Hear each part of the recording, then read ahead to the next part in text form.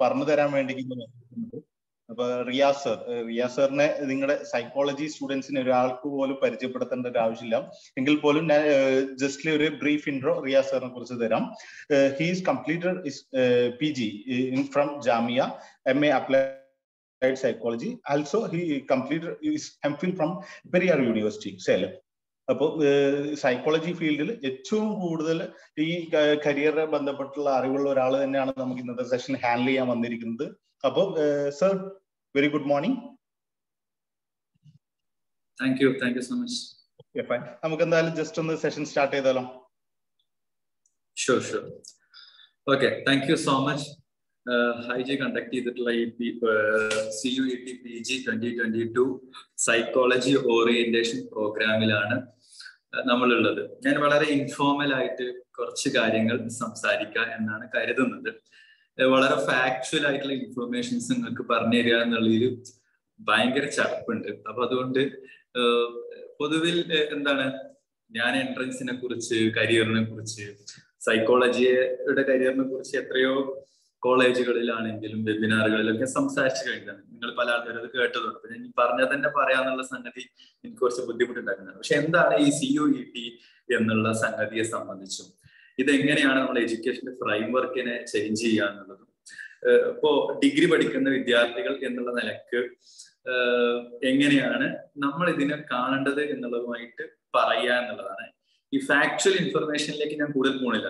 നിങ്ങൾ C U ടിയുടെ bulletin വായിച്ചു കഴിഞ്ഞു കഴിഞ്ഞാൽ വളരെ വിശദമായി കിട്ടും. ഞാൻ അത്ര ഡീറ്റെയിൽ ആയിട്ട് ഫാക്ച്വൽ ഇൻഫർമേഷനിലേക്ക് പോവില്ല. ഇപ്പോ national testing agency N T M കുറഞ്ഞ കഴിഞ്ഞ കുറെ കാലമായിട്ട് ഈ മൊത്തത്തിൽ ഇന്ത്യയിലെ എൻട്രൻസുകളെ ഏകീകരിക്കുക എന്നുള്ള ഉദ്ദേശത്തിൽ വന്നിട്ടുണ്ട്. ഇപ്പോ പണ്ട് Indian medical council I M I ആയിരുന്നു നീറ്റ് അന്ന് all India pre medical entrance exam ആയിരുന്നു ആ എക്സാം ഒക്കെ നീറ്റ് എന്നുള്ള ഒരു പരീക്ഷയുടെ പേര് മാറ്റി എൻ ടി എ നടത്താൻ തുടങ്ങി. ഈവൻ നമ്മൾ എഴുതുന്ന സൈക്കോളജിക്കാർ എഴുതുന്ന യു ജി സി നടത്തിയിരുന്ന നെറ്റ് പരീക്ഷ എൻ ടി എ ആണ് ഇപ്പൊ നടത്തുന്നത്. ഇങ്ങനെ ഒട്ടുമിക്ക എല്ലാ എൻട്രൻസ് പരീക്ഷകൾ പ്രവേശന പരീക്ഷകളൊക്കെ എൻ ടി എ നടത്തുന്ന ഒരു രീതിയിലേക്ക് വന്നു. അപ്പോ പൊതുവിൽ ഈ ഈ യൂണിവേഴ്സിറ്റി തലത്തിലുള്ള പ്രവേശന പരീക്ഷകളൊക്കെ ഏകീകരിക്കുക എന്നുള്ളത് ഒരു പുതിയ വിദ്യാഭ്യാസ നയത്തിന്റെ ഭാഗമാണ്. നമ്മൾ ട്വന്റി ട്വന്റിയിൽ ഉണ്ടായ രണ്ടായിരത്തി ഇരുപതിലെ വിദ്യാഭ്യാസ നയം മുന്നോട്ട് വെക്കുന്ന ഒരു ആശയമാണ് രാജ്യത്തുള്ള മുഴുവൻ കോളേജുകളിലെയും യൂണിവേഴ്സിറ്റികളുടെയും പ്രവേശന പരീക്ഷകളെ ഏകീകരിക്കണം എന്നുള്ളത്. ഇങ്ങനെ പ്രവേശന പരീക്ഷ ഏകീകരിക്കുന്ന ഏക രാജ്യമല്ല ഇന്ത്യ. ഇപ്പൊ നിങ്ങൾക്ക് അമേരിക്കയുടെ ഹയർ എഡ്യൂക്കേഷൻ സിനാരി എടുത്തു കഴിഞ്ഞാൽ അമേരിക്കയിലെ ഗ്രാജുവേറ്റ് കോളേജുകളിലേക്ക് എന്നാൽ അവിടുത്തെ ഹയർ സെക്കൻഡറി കഴിഞ്ഞിട്ട് പ്ലസ് ടു പഠിക്കാൻ വേണ്ടിയിട്ട് അവർ സാറ്റ് സ്കോളാസ്റ്റിക് ആപ്റ്റിറ്റ്യൂഡ് ടെസ്റ്റ് എന്ന് പറഞ്ഞൊരു ടെസ്റ്റ് ചെയ്തിട്ടുണ്ട്. നമ്മുടെ നാട്ടിലെ പ്ലസ് ടു കഴിഞ്ഞ പിള്ളേരൊക്കെ അമേരിക്കയിൽ പോയി ഡിഗ്രി പഠിക്കണമെങ്കിൽ എഞ്ചിനീയറിംഗ് പഠിക്കണമെങ്കിലും ഫിലോസഫി പഠിക്കണമെങ്കിൽ ഈ സാറ്റ് എക്സാം ക്ലിയർ ചെയ്യണം. എന്നിട്ട് മാത്രമാണ് ഓരോ സ്റ്റേറ്റ്സിലെയും വളരെ പോപ്പുലർ ആയിട്ടുള്ള യൂണിവേഴ്സിറ്റികളിലേക്ക് അഡ്മിഷൻ എടുക്കുക. നിങ്ങൾ ഈ അമേരിക്ക അമേരിക്കയുമായി ബന്ധപ്പെട്ട ഏതെങ്കിലും സീരീസോ അഡോളസൻ ബേസ് ചെയ്തിട്ടുള്ള ഏതെങ്കിലും സിനിമകളൊക്കെ കണ്ടു കഴിഞ്ഞാൽ ഏത് യൂണിവേഴ്സിറ്റി നിങ്ങൾ കിട്ടിയെന്ന് എനിക്ക് എത്രയാണ് സാറ്റ് സ്കോർ എന്നൊക്കെ ചോദിക്കുന്ന രീതിയിലുള്ള രംഗങ്ങളൊക്കെ കാണാം. ഞാൻ ഈ അടുത്ത കാലത്ത് കണ്ടൊരു ഫിലിമിൽ അങ്ങനെ ഉണ്ടായിരുന്നു. എനിക്ക് ഉപ്ലേഡ് university of Los Angeles California കിട്ടി എന്നൊക്കെ പറയുന്ന ഒരു രംഗങ്ങളൊക്കെ ഞാൻ ഈ അടുത്ത് കണ്ടു. അതുപോലെ തന്നെ അമേരിക്കയിൽ പോസ്റ്റ് ഗ്രാജുവേഷൻ ചെയ്യാൻ. പോസ്റ്റ് ഗ്രാജുവേഷൻ നമ്മുടെ നാട്ടിലെ ഗ്രാജുവേഷൻ എന്ന് പറയാം മറ്റേതിന് അണ്ടർ ഗ്രാജുവേഷൻ ഈ ഗ്രാജുവേഷന് വേണ്ടിയിട്ട് നിങ്ങൾക്ക് എല്ലാ ആളുകൾക്കും അറിയുന്ന ജി ഒരു G R graduate record exam എന്ന് പറഞ്ഞൊരു എക്സാം ഉണ്ട്. അങ്ങനെ വേറെ പല ലോകരാജ്യങ്ങളും ഈ സംഗതി പരീക്ഷിച്ചിട്ടുള്ളതാണ്. അപ്പൊ ഇന്ത്യയിൽ ഒരുപക്ഷെ പുതിയ വിദ്യാഭ്യാസ നയത്തിന്റെ ഭാഗമായിട്ട് ഇന്ത്യയിലെ യൂണിവേഴ്സിറ്റി തലത്തിലുള്ള പരീക്ഷകളൊക്കെ ഏകീകരിക്കാം. മറ്റു പല പരീക്ഷകളും ഏകീകരണം ഉണ്ടായിട്ടുണ്ട്. ഇപ്പൊ നീറ്റ് പരീക്ഷ വഴി മെഡിക്കൽ മെഡിക്കൽ അനുബന്ധ കോഴ്സുകൾ പ്രവേശന പരീക്ഷ ഇപ്പൊ ജെ ഇ പരീക്ഷ വഴി ഇന്ത്യയിലെ വലിയ എഞ്ചിനീയറിംഗ് എൻട്രൻസ് ഇൻസ്റ്റിറ്റ്യൂഷനിലേക്കുള്ള പ്രവേശന പരീക്ഷ ഏകീകരിക്കുന്നു. ഇന്ത്യൻ കൗൺസിൽ ഫോർ അഗ്രികൾച്ചർ റിസർച്ചിന്റെ പരീക്ഷ വഴി അഗ്രികൾച്ചറൽ പരീക്ഷകൾ ഏകീകരിക്കുന്നു കോമൺ ലോ ആപ്റ്റിറ്റ്യൂഡ് ടെസ്റ്റ് വഴി ലോ എൻട്രൻസ് ടെസ്റ്റുകൾ ഏകീകരിക്കുന്നു അതിന്റെ ഭാഗമായി C U E T common university entrance test എന്നുള്ള രീതിയിൽ യൂണിവേഴ്സിറ്റി തലത്തിലേക്കുള്ള പരീക്ഷകൾ ഏകീകരിക്കുക എന്നുള്ള തീരുമാനത്തിലേക്ക് എത്താണ് ഇതിന് C U C E T central university common entrance test എന്നുള്ള പേരിൽ പണ്ട് കഴിഞ്ഞ വർഷം വരെയൊക്കെ നിങ്ങൾക്ക് ഈ central university of Tamil Nadu Punjab south Bihar Haryana പോലുള്ള സെൻട്രൽ യൂണിവേഴ്സിറ്റികളിലെ സൈക്കോളജി പരീക്ഷയ്ക്ക് C U E C U C E T എന്ന് പറഞ്ഞിട്ട് central university common entrance test എന്നൊരു ടെസ്റ്റ് ഉണ്ടായിരുന്നു.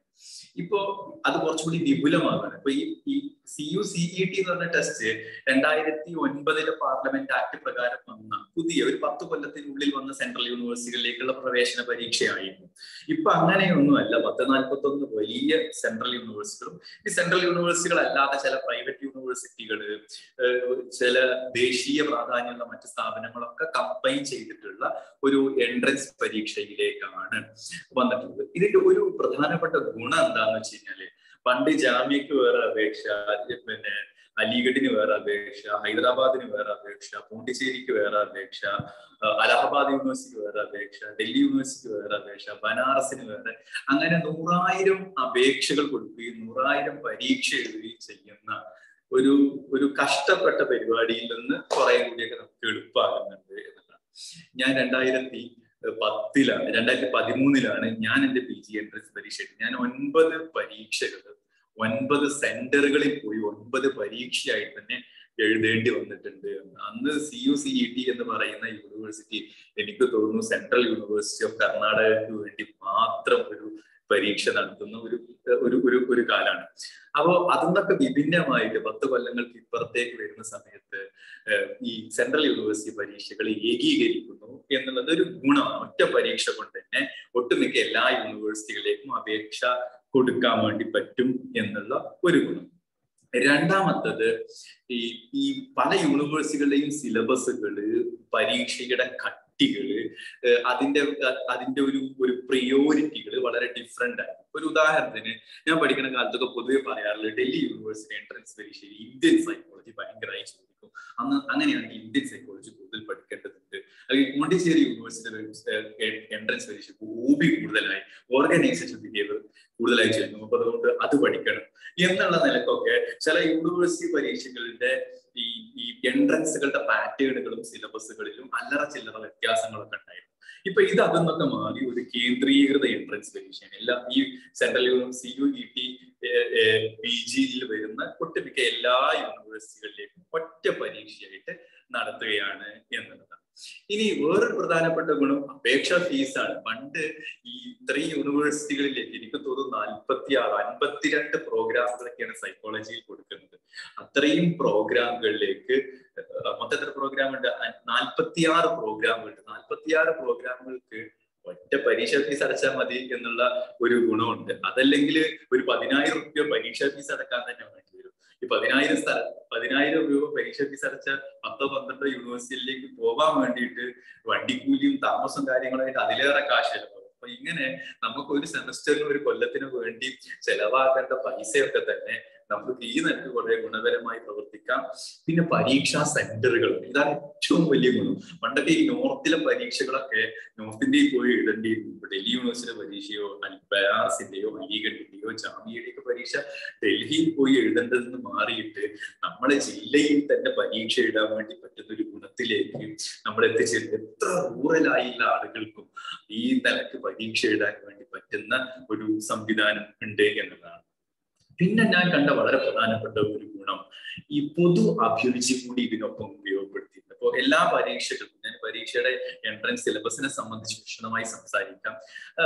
സൈക്കോളജി എന്നുള്ള സബ്ജക്ട് മാത്രമല്ല നിങ്ങൾ പൊതുവായ ജനറൽ അഭിരുചി ജനറൽ ആപ്റ്റിറ്റ്യൂഡിനെ കൂടി ഇത് പരിഗണിക്കുന്നുണ്ട് എന്നുള്ളതിലേക്ക് ഈ സബ്ജക്ട് ബുദ്ധിരാക്ഷസന്മാർക്ക് മാത്രമല്ല ജനറൽ അഭിരുചിയുള്ള ആളുകൾക്ക് കൂടി ഒരു സൗകര്യം കിട്ടുന്നുണ്ട് എന്നുള്ള ഒരു ഗുണം ഈ C U E T P G twenty twenty വഴി ഉണ്ടാകുന്നുണ്ട്. ഇങ്ങനെ പല നിലയ്ക്ക് നമ്മൾ നോക്കുകയാണെങ്കിൽ ഒരുപാട് ഗുണങ്ങൾ P G C U E T P G രണ്ടായിരത്തി ഇരുപത്തിരണ്ടിനുണ്ട് എന്നുള്ള ഒന്നാണ്.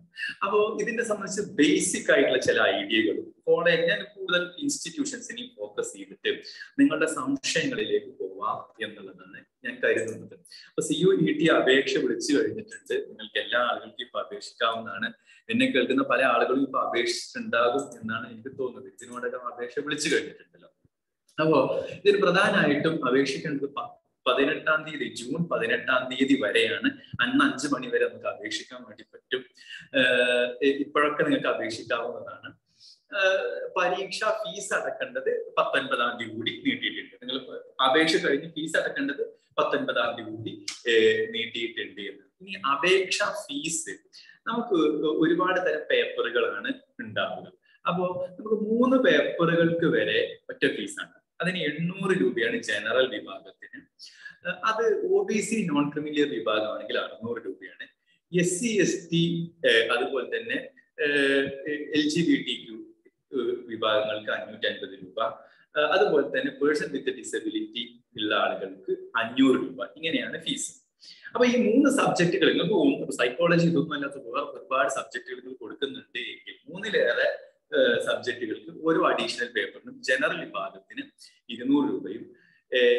S C O B C മറ്റേ അതുപോലെ തന്നെ നോൺ ക്രിമിലിയർ വിഭാഗങ്ങൾക്ക് നൂറ്റി അൻപത് രൂപ. അതുപോലെ തന്നെ S C S T L G B T ക്യൂവിന് നൂറ്റി അൻപത് രൂപ. അതുപോലെ തന്നെ പേഴ്സൺ വിത്ത് ഡിസബിലിറ്റിക്കും നൂറ്റി അൻപത് രൂപയാണ് ഉള്ളത്. ഇനി കേരളത്തിന് ഇന്ത്യയ്ക്ക് പുറത്ത് സെന്ററുകൾ ഉണ്ട്. നിങ്ങൾ വിദേശത്തൊക്കെ പോയി ഇരിക്കുന്ന ആളുകൾക്ക് വേണമെങ്കിൽ എഴുതാം. അവർക്ക് നാലായിരം രൂപയാണ് ഈ പരീ മൂന്ന് പേപ്പറുകൾക്ക് വേണ്ടി വരുന്ന പരീക്ഷാ പൈസ അഡീഷണൽ പേപ്പറുകൾക്ക് ഉണ്ട് ആയിരം രൂപ എക്സ്ട്രാ കൊടുക്കണം എന്നുള്ളത്. ഇനി ഈ പരീക്ഷ നൂറ് ചോദ്യങ്ങളുള്ള ഒരു പരീക്ഷയാണ്. നൂറ് ചോദ്യങ്ങൾക്ക് നിങ്ങൾക്ക് നൂറ്റി ഇരുപത് മിനിറ്റ് ആണ് രണ്ട് മണിക്കൂർ ദൈർഘ്യമുള്ള പരീക്ഷയാണ്. നൂറ് ചോദ്യങ്ങളായിരിക്കും ഉണ്ടാവുക. അതിൽ എഴുപത് ഇരുപത്തഞ്ച് ചോദ്യങ്ങൾ ജനറൽ ആപ്റ്റിറ്റ്യൂഡിൽ നിന്നും എഴുപത്തഞ്ച് ചോദ്യങ്ങൾ പൊതുവിൽ പിന്നെ സബ്ജക്ട് ബേസ്ഡ് ആയിട്ടായിരിക്കും ഉണ്ടാവുക. രണ്ട് ഷിഫ്റ്റുകൾ പല ദിവസങ്ങളിലായിട്ടാണ് പരീക്ഷ നടക്കുക പരീക്ഷാ തീയതികൾ ഇതുവരെ U G C N D A പുറപ്പെടുവിച്ചിട്ടില്ല. നിങ്ങൾ എൻ ഡി എയുടെ വെബ്സൈറ്റ് നിരന്തരം നോക്കുക. അതിൽ W W W dot C U E T dot N D A dot N I C dot in എന്നുള്ള വെബ്സൈറ്റ് ആണ്. അതിൽ നോക്കിക്കഴിഞ്ഞു കഴിഞ്ഞാൽ നിങ്ങൾക്ക് നിരന്തരമുള്ള അപ്ഡേറ്റുകളെയൊക്കെ കിട്ടും. ഇനി അടുത്ത സംഗതി എന്താണെന്ന് വെച്ച് കഴിഞ്ഞാൽ പരീക്ഷ രണ്ട് ഒരു ദിവസം രണ്ട് സമയങ്ങളിലായിട്ട് നടക്കാം പത്തേ ടു പന്ത്രണ്ട് പരീക്ഷ മൂന്നേ ടു അഞ്ച് രണ്ട് ഷിഫ്റ്റുകളിലായിട്ടായിരിക്കും നടക്കുക. അപ്പൊ നിങ്ങൾ സെലക്ട് ചെയ്യുന്ന പേപ്പറുകൾ പ്രൊസീജിയറിനും അനുസരിച്ചിട്ട് ആയിരിക്കും ഫീസിന്റെ ഡിഫറൻസ് വരുന്നത് ഓക്കെ ഇനി ഞാൻ യൂണിവേഴ്സ് നമ്മുടെ സൈക്കോളജി ഞാൻ സൈക്കോളജിയാണ് ഫോക്കസ് ചെയ്ത് പറയുന്നത്. സൈക്കോളജി കോഴ്സുകൾ കൊടുക്കുന്ന ഈ കോളേജ് യൂണിവേഴ്സിറ്റികളുടെ ലിസ്റ്റ് പറയും. ഇതിൽ സെൻട്രൽ യൂണിവേഴ്സിറ്റികളും സെൻട്രൽ യൂണിവേഴ്സിറ്റികൾ അല്ലാത്ത യൂണിവേഴ്സിറ്റികളും ഒക്കെ ഉണ്ട്. ഞാൻ പൊതുവായിട്ട് യൂണിവേഴ്സിറ്റികൾ ലിസ്റ്റ് പറയാം. ഇതിൽ ഒപ്പം തന്നെ എൻട്രൻസ് പരീക്ഷയും കൂടി കുറിച്ച് പറഞ്ഞ് അപ്ലിക്കേഷൻ പ്രൊസീജിയറിനെ കൂടി പറഞ്ഞ് ഞാൻ അവസാനിപ്പിക്കാം. എന്നിട്ട് നമുക്ക് ക്വസ്റ്റ്യൻ ആൻസറിലേക്ക് പോകാം. ഓക്കെ ഒന്നാമത്തത് രാജീവ് ഗാന്ധി നാഷണൽ ഇൻസ്റ്റിറ്റ്യൂട്ട്. ഞാൻ ഇതിലെ ക്രമപ്രകാരമാണ് പറയുന്നത് ഇതിന്റെ നോട്ടിഫിക്കേഷനിൽ. അഥവാ ഏറ്റവും നല്ല യൂണിവേഴ്സിറ്റി ആദ്യം ഏറ്റവും മോശം യൂണിവേഴ്സിറ്റി അവസാനം എന്നുള്ള നിലക്കല്ല പറയുന്നത്. ഓരോ യൂണിവേഴ്സിറ്റികളും അതിന്റെ പ്രത്യേകത പറയാം. ഒന്ന് Rajiv Gandhi national institute for youth development എന്ന് പറഞ്ഞാൽ നമ്മുടെ തമിഴ്നാട്ടിലെ ശ്രീപെരുമ്പത്തൂരുള്ള കേന്ദ്ര യുവജന മന്ത്രാലയത്തിന് കീഴിലുള്ള ഒരു യൂണിവേഴ്സിറ്റി ഒരു ഇൻസ്റ്റിറ്റ്യൂഷനാണ് ഒരു സ്വതന്ത്ര ഇൻസ്റ്റിറ്റ്യൂഷനാണ് Rajiv Gandhi national institute for youth development. ഒരു M S C applied psychology കോഴ്സാണ് കൊടുക്കുന്നത്. ആ കോഴ്സിലേക്ക് ഈ നമ്മൾ ഈ സി യു ഇ ടി പരീക്ഷയാണ്. അപ്പൊ ഒറ്റ പരീക്ഷ എഴുതിയാൽ മതി കേട്ടോ നമ്മുടെ പരീക്ഷാ പേപ്പറിന്റെ പേര് പി ജി ക്യു പി നാൽപ്പത്തി ആറ് എന്നുള്ള പി ജി ക്യു പി നാൽപ്പത്തി ആറ് എന്നുള്ള പരീക്ഷാ പേപ്പറാണ് നമ്മൾ അപ്പോ? അപ്പോ? ബാക്കിയുള്ള ആൾക്കാരൊന്ന് മ്യൂട്ട് ചെയ്യാവോ? മിസ്ത്രി ഒന്ന് മ്യൂട്ട് ചെയ്യാവോ? ഓക്കെ. ഓക്കെ. അപ്പൊ ഇതിൽ രാജീവ് ഗാന്ധി നാഷണൽ ഇൻസ്റ്റിറ്റ്യൂട്ട് നിങ്ങൾ എല്ലാ ആളുകളും പരീക്ഷയ്ക്ക് അപേക്ഷിക്കുന്ന സമയത്ത് നോക്കേണ്ടത് ഇപ്പൊ ഏത് കോളേജ് മറ്റേ കോഴ്സുകൾ യൂണിവേഴ്സിറ്റികൾ എന്നുള്ളത് അപേക്ഷ സമയത്ത് നമ്മൾ കൊടുക്കേണ്ടതുണ്ട്. എങ്കിൽ മാത്രമേ ആ യൂണിവേഴ്സിറ്റി നമ്മുടെ സ്കോർ പരിഗണിക്കുള്ളൂ. അപ്പോ ഈ യൂണിവേഴ്സിറ്റികൾ നമ്മൾ നമുക്ക് ആ യൂണിവേഴ്സിറ്റി പഠിക്കാൻ വേണ്ടി പറ്റുമോ എന്നുള്ളത് നോക്കണമെങ്കിൽ ആ യൂണിവേഴ്സിറ്റി നമ്മൾ പഠിക്കാൻ ഉദ്ദേശിക്കുന്ന കോഴ്സിന് എന്ത് എലിജിബിലിറ്റിയാണ് വെച്ചിട്ടുള്ളത് എന്നുള്ളത് നോക്കണം. അപ്പോ Rajiv Gandhi national institute for youth development കൊടുക്കുന്നത് B A bar B S C three year course in psychology bar any bachelor degree with psychology as a subject അമ്പത് ശതമാനം മാർക്ക് ഉണ്ടാവണം എന്നുള്ളതാണ്. ഇപ്പോ ഒന്നുകിൽ സൈക്കോളജി നാല് സെമസ്റ്ററിലെങ്കിലും പഠിച്ച അല്ലെങ്കിൽ B A bar B S C psychology പഠിക്കണം അമ്പത് ശതമാനം മാർക്ക് മൊത്തത്തിൽ ഉണ്ടാവണം. എന്നാണ് രാജീവ് ഗാന്ധിയിലെ എലിജിബിലിറ്റി ക്രൈറ്റീരിയ എന്നുള്ളത്. അവർ കൊടുക്കുന്ന കോഴ്സിന്റെ പേര് M S C applied psychology എന്നുള്ളതാണ്. ഇനി അടുത്ത university central university of Andhra Pradesh. Central university of Andhra Pradesh വളരെ പുതുതായി വന്നിട്ടുള്ള ഒരു സെൻട്രൽ യൂണിവേഴ്സിറ്റിയാണ്. അവരും എം എസ് സി അപ്ലൈഡ് സൈക്കോളജിയാണ് കൊടുക്കുന്നത്. ബാച്ചിലർ ഡിഗ്രി വിത്ത് അമ്പത് ശതമാനം മാർക്കാണ് അവരുള്ളത് എനി ഡിഗ്രിയുള്ള ആളുകൾക്ക് അപേക്ഷിക്കാൻ വേണ്ടി പറ്റുന്ന ഒരു കോഴ്സ് ഇതാണ് central university of Andhra Pradesh. Our M S C applied psychology എന്നുള്ള കോഴ്സ് പ്രൊവൈഡ് ചെയ്യുന്നുണ്ട്. അടുത്ത പ്രധാനപ്പെട്ട സ്ഥാപനം central university of Haryana central university of Haryana നമുക്കറിയാം ഉത്തരേന്ത്യയിലെ വളരെ പ്രധാനം. ഇനി Haryana central university department of psychology ഒരുപക്ഷെ ഇന്ത്യയിലെ സെൻട്രൽ യൂണിവേഴ്സിറ്റികളിൽ വളരെ മുഖ്യധാര ഡിപ്പാർട്ട്മെന്റുകളായിട്ട് ഞാൻ പരിഗണിക്കുന്നുണ്ട്. കാരണം അവർ കൊടുക്കുന്ന കോഴ്സുകളുടെ വൈവിധ്യവും ട്രെയിനിങ്ങും വിപുലമാണ് എന്നാണ് ഞാൻ മനസ്സിലാക്കുന്നത്. അപ്പൊ അത് അവർ കൊടുക്കുന്ന എം എ സൈക്കോളജി എന്നുള്ള കോഴ്സാണ് central university of Haryana provide ചെയ്യുന്ന കോഴ്സ് അവിടെ സെൻട്രൽ യൂണിവേഴ്സിറ്റി ഹരിയാനയിൽ പഠിക്കണമെങ്കിൽ graduation any recognised university minimum fifty percentage mark അൻപത് ശതമാനം മാർക്കോടുകൂടി ഏത് ഡിഗ്രി പഠിച്ച ആളുകൾക്കും university of Haryana central university ഹരിയാനയിൽ പഠിക്കാൻ വേണ്ടി പറ്റും. അവിടെ കൊടുക്കുന്നത് എം എ സൈക്കോളജി എന്ന് പറയുന്ന ഒരു കോഴ്സാണ് ഇനി അടുത്ത പ്രധാനപ്പെട്ട university university of Hyderabad central യൂണിവേഴ്സിറ്റികളിൽ ഏറ്റവും മികച്ച പത്ത് യൂണിവേഴ്സിറ്റികളൊക്കെ എടുക്കുകയാണെങ്കിൽ അതിൽ വരുന്ന ഒരു യൂണിവേഴ്സിറ്റിയാണ് യൂണിവേഴ്സിറ്റി ഹൈദരാബാദ് ഹൈദരാബാദ് യൂണിവേഴ്സിറ്റി വലിയ യൂണിവേഴ്സിറ്റിയാണ് കേട്ടോ. ഒരു പത്ത് രണ്ടായിരം രണ്ടായിരത്തി അഞ്ഞൂറ് ഏക്കർ വലിപ്പമൊക്കെ ഉള്ള വലിയ ക്യാമ്പസ് ഒക്കെ ഉള്ള ഒരു യൂണിവേഴ്സിറ്റിയാണ് സെൻട്രൽ യൂണിവേഴ്സിറ്റി ഓഫ് ഹൈദരാബാദ് നിങ്ങൾക്ക് അറിയാവുന്നത് പോലെ തന്നെ എം എസ് സി ഹെൽത്ത് സൈക്കോളജിയാണ് അവർ കൊടുക്കുന്നത്. ഒരു പക്ഷേ ഇന്ത്യയിലെ M S C health psychology കൊടുക്കുന്ന ഏക യൂണിവേഴ്സിറ്റിയും university of Hyderabad central university of Hyderabad ആണ് ഉള്ളത്.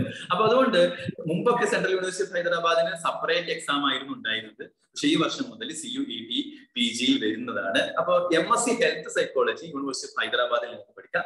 സെൻട്രൽ യൂണിവേഴ്സിറ്റി ഓഫ് ഹൈദരാബാദിൽ M S C health psychology പഠിക്കാൻ എലിജിബിലിറ്റി പറയുന്നത് with with minimum sixty percentage mark at the graduation level with psychology as one of the subject psychology ഒരു subject ആയി പഠിച്ചിട്ടുള്ള ഒരു degree വേണം. അറുപത് ശതമാനം മാർക്ക് ഡിഗ്രിക്ക് നേടിയിരിക്കണം സെൻട്രൽ യൂണിവേഴ്സിറ്റി ഹൈദരാബാദിൽ നിങ്ങൾക്ക് M S C health psychology പഠിക്കണമെങ്കിൽ സൈക്കോളജി വിഷയമായി പഠിച്ച ഡിഗ്രി വേണം. അതിൽ നിങ്ങൾ അറുപത് ശതമാനം മാർക്കും വാങ്ങണം എന്നുള്ളതാണ്. അപ്പോൾ ഹൈദരാബാദ് യൂണിവേഴ്സിറ്റി കമ്പാരിറ്റീവ്ലി ഞാനിപ്പോ പറഞ്ഞതിൽ ഒരു ഗ്രേഡ് മുകളിലുള്ള ഒരു യൂണിവേഴ്സിറ്റി ആണ്. അടുത്തത് central university of Jharkhand central university of Jharkhand വളരെ പ്രധാനപ്പെട്ട പുതിയ സെന്റർ രണ്ടായിരത്തി ഒൻപതിൽ പാർലമെന്റ് ആക്ട് പ്രകാരം വന്ന കേന്ദ്ര സർവകലാശാലകളിൽ ഒന്നാണ് ജാർഖണ്ഡ് എന്ന് പറയുന്നത് നമ്മൾ സെൻട്രൽ ഇൻസ്റ്റിറ്റ്യൂട്ട് ഓഫ് സൈക്യാട്രി ഒക്കെ ഉള്ളത് റാഞ്ചി ഒക്കെ ഉള്ളത് ജാർഖണ്ഡിലാണ്. Jharkhand M A bar M S C program in psychology കൊടുക്കുന്നുണ്ട്.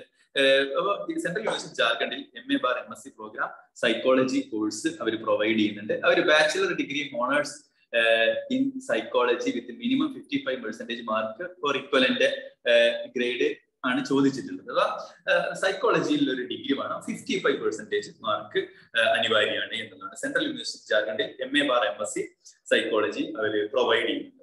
അടുത്ത പ്രധാനപ്പെട്ട university central university of Karnataka ഈ സൈക്കോളജി കോഴ്സ് വളരെ സിസ്റ്റമാറ്റിക് ആയി നടത്തുന്ന നമ്മുടെ തൊട്ടടുത്തുള്ള മികച്ച സർവകലാശാലകളിൽ ഒന്നാണ് സെൻട്രൽ യൂണിവേഴ്സിറ്റി ഓഫ് കർണാടക ഗുൽബർഗയിലുള്ള സെൻട്രൽ യൂണിവേഴ്സിറ്റി ഓഫ് കർണാടക അവർ കൊടുക്കുന്നത് എം എസ് സി സൈക്കോളജി എന്ന് പറയുന്ന ഒരു കോഴ്സാണ് എം എസ് സി സൈക്കോളജി അവർ കൊടുക്കുക. അവർ ഒരുപക്ഷെ നമ്മളെ സൈക്കോളജി ഡിഗ്രി കോഴ്സ് വളരെ സിസ്റ്റമാറ്റിക് ആയി നടത്തുന്ന ഒരു യൂണിവേഴ്സിറ്റിയാണ് bachelor degree in any discipline from recognised university ആണ് അവർ ചോദിച്ചിട്ടുള്ളത് fifty five at least fifty percentage mark general വിഭാഗത്തിന് forty five percentage mark non criminal വിഭാഗത്തിനും വേണം എന്നുള്ളതാണ്.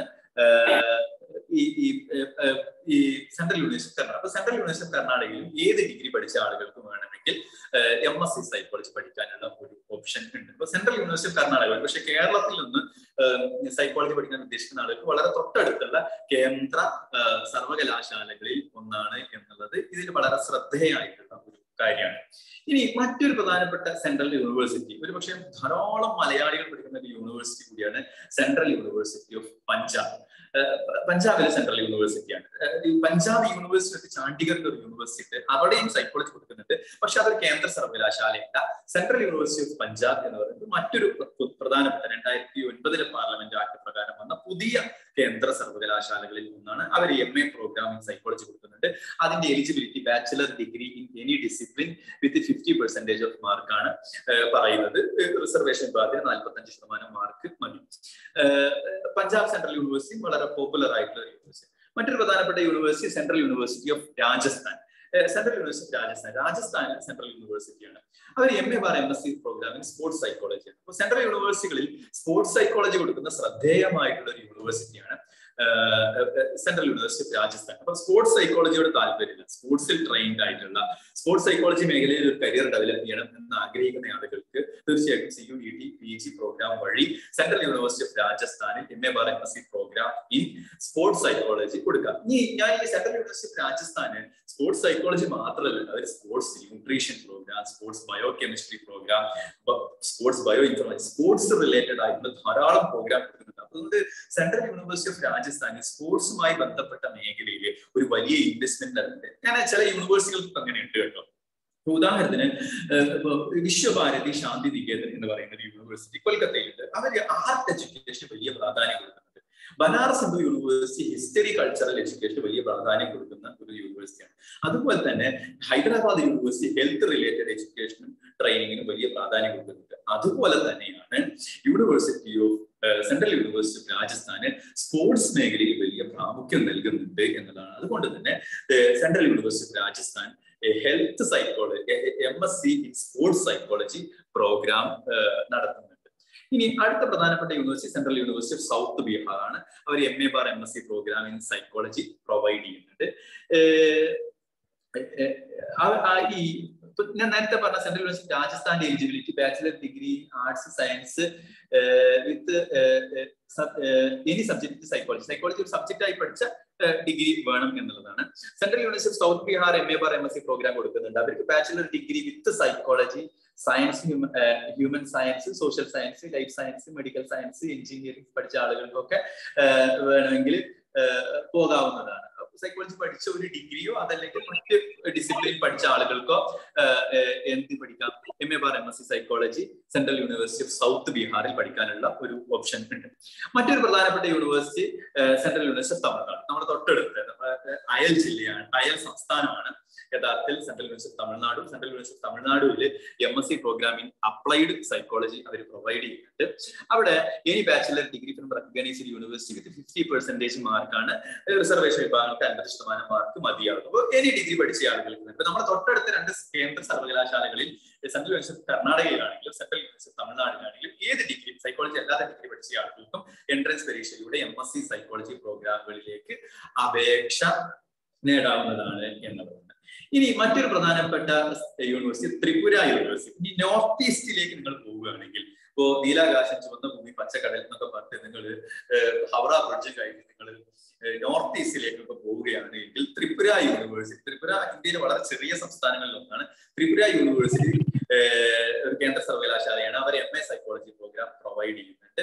അവർ B A bar B S C psychology B A bar B S C psychology പഠിച്ച eligibility. അതല്ലെങ്കിൽ psychology ഒരു സബ്ജക്റ്റ് ആയി പഠിച്ച degree ഉണ്ട് എങ്കിൽ നിങ്ങൾക്ക് അവിടെ അപേക്ഷിക്കാവുന്നതാണ്. ത്രിപുര യൂണിവേഴ്സിറ്റി മറ്റൊരു പ്രധാനപ്പെട്ട യൂണിവേഴ്സിറ്റി ഹേമവതി നന്ദ ബഹുഗുണ ഗർവാൾ യൂണിവേഴ്സിറ്റി ശ്രീനഗർ ഗുജറാത്തിലെ ശ്രീനഗറിലുള്ള അല്ല കാശ്മീരിലെ ശ്രീനഗറിലുള്ള യൂണിവേഴ്സിറ്റി അവർ എന്നെ സൈക്കോളജി പ്രോഗ്രാം കൊടുക്കുന്നുണ്ട്. Graduation with psychology as a subject or B S C B Ed with forty percentage mark ഒന്നെങ്കിൽ സൈക്കോളജി പഠിച്ച ഒരു ഡിഗ്രി ഒരു സബ്ജക്റ്റ് ആയി പഠിച്ച ഡിഗ്രി വേണം. അല്ലെങ്കിൽ ബി എസ് സിയോ ബി എഡോ ഉള്ള ആളുകൾക്ക് അവിടെ അപേക്ഷിക്കാം എന്നുള്ളതാണ് ഒരു ഒരു പ്രധാനപ്പെട്ട ഒരു കാര്യം.